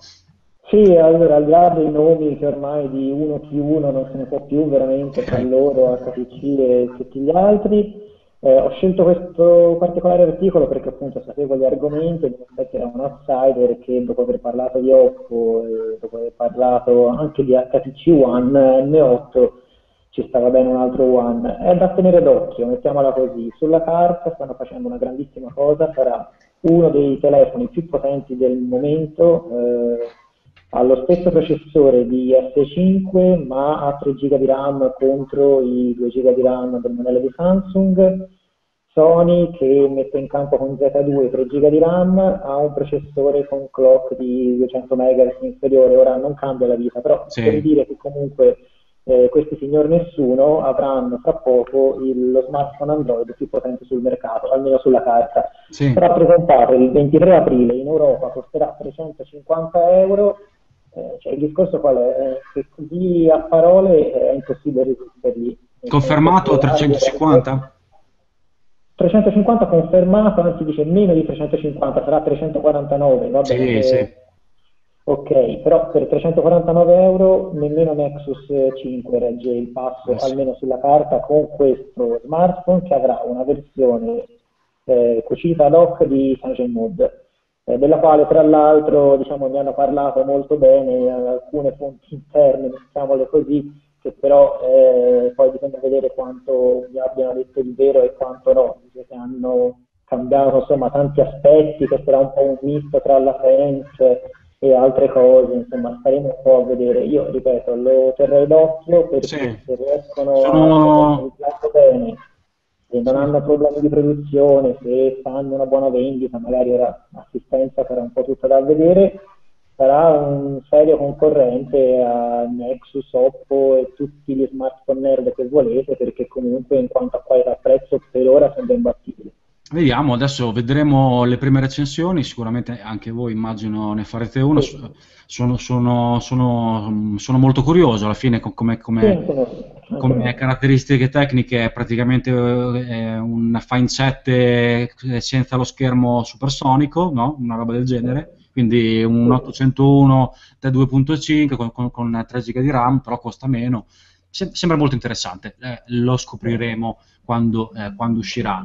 Vado all'ultimo invece Select, che è un select particolare di Antonio, ed è, eh, e sono le app di multiplayer.it anche su PlayStation 3 e PlayStation 4. Neanche farlo apposta, proprio la scorsa settimana ero a casa di, di un amico e stavo guardando sta roba. Adesso sembra che, che lo dico per fare, per fare la marchetta multiplayer, cosa che mi riesce sempre benissimo, comunque non è questo il punto. Eh, però effettivamente n- eh, non lo sapevo, invece quei megalomani di multiplayer.it sbarcano anche su PlayStation 3 e PlayStation 4, è così Antonio? Sì, sì, praticamente vabbè, la cosa figa che, che ovviamente con le nuove console, Xbox One e PS4 soprattutto, finalmente c'è un po' di apertura alle applicazioni di terze parti. Noi ci siamo subito rientrati praticamente dal lancio della nuova console, siamo partner italiani di Sony ufficiali, abbiamo la nostra applicazione indipendente però in questo caso eh, sia per PlayStation 3 e PlayStation 4, si può tranquillamente scaricare gratis sui due store della console e navigare i video. Noi abbiamo deciso ovviamente di puntare sui video perché è una palla ovviamente scrivere, commentare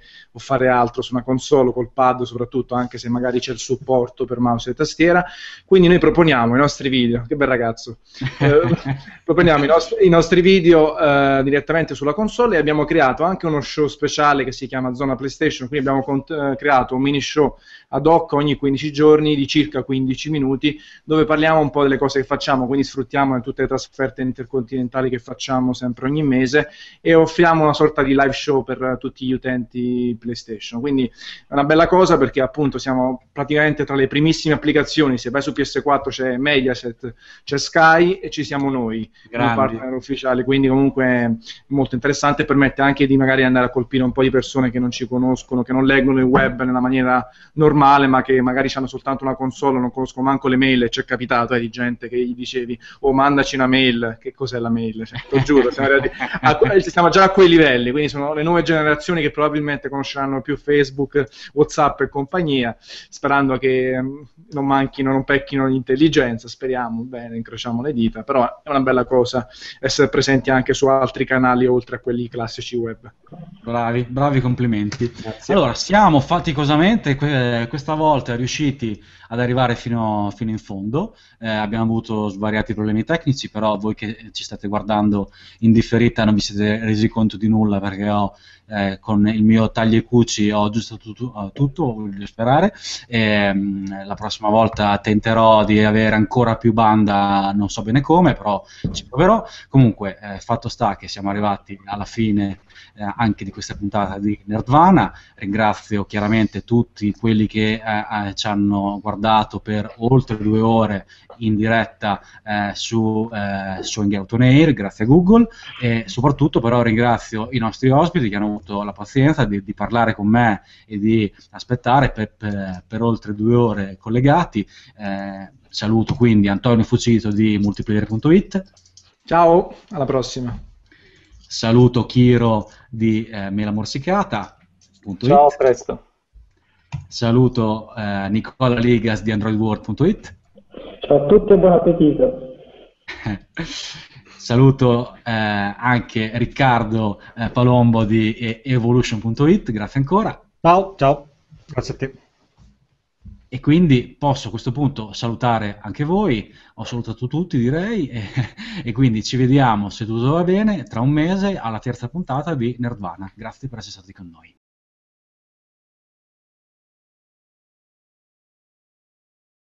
42. Open. N-E-R-D. Nerd.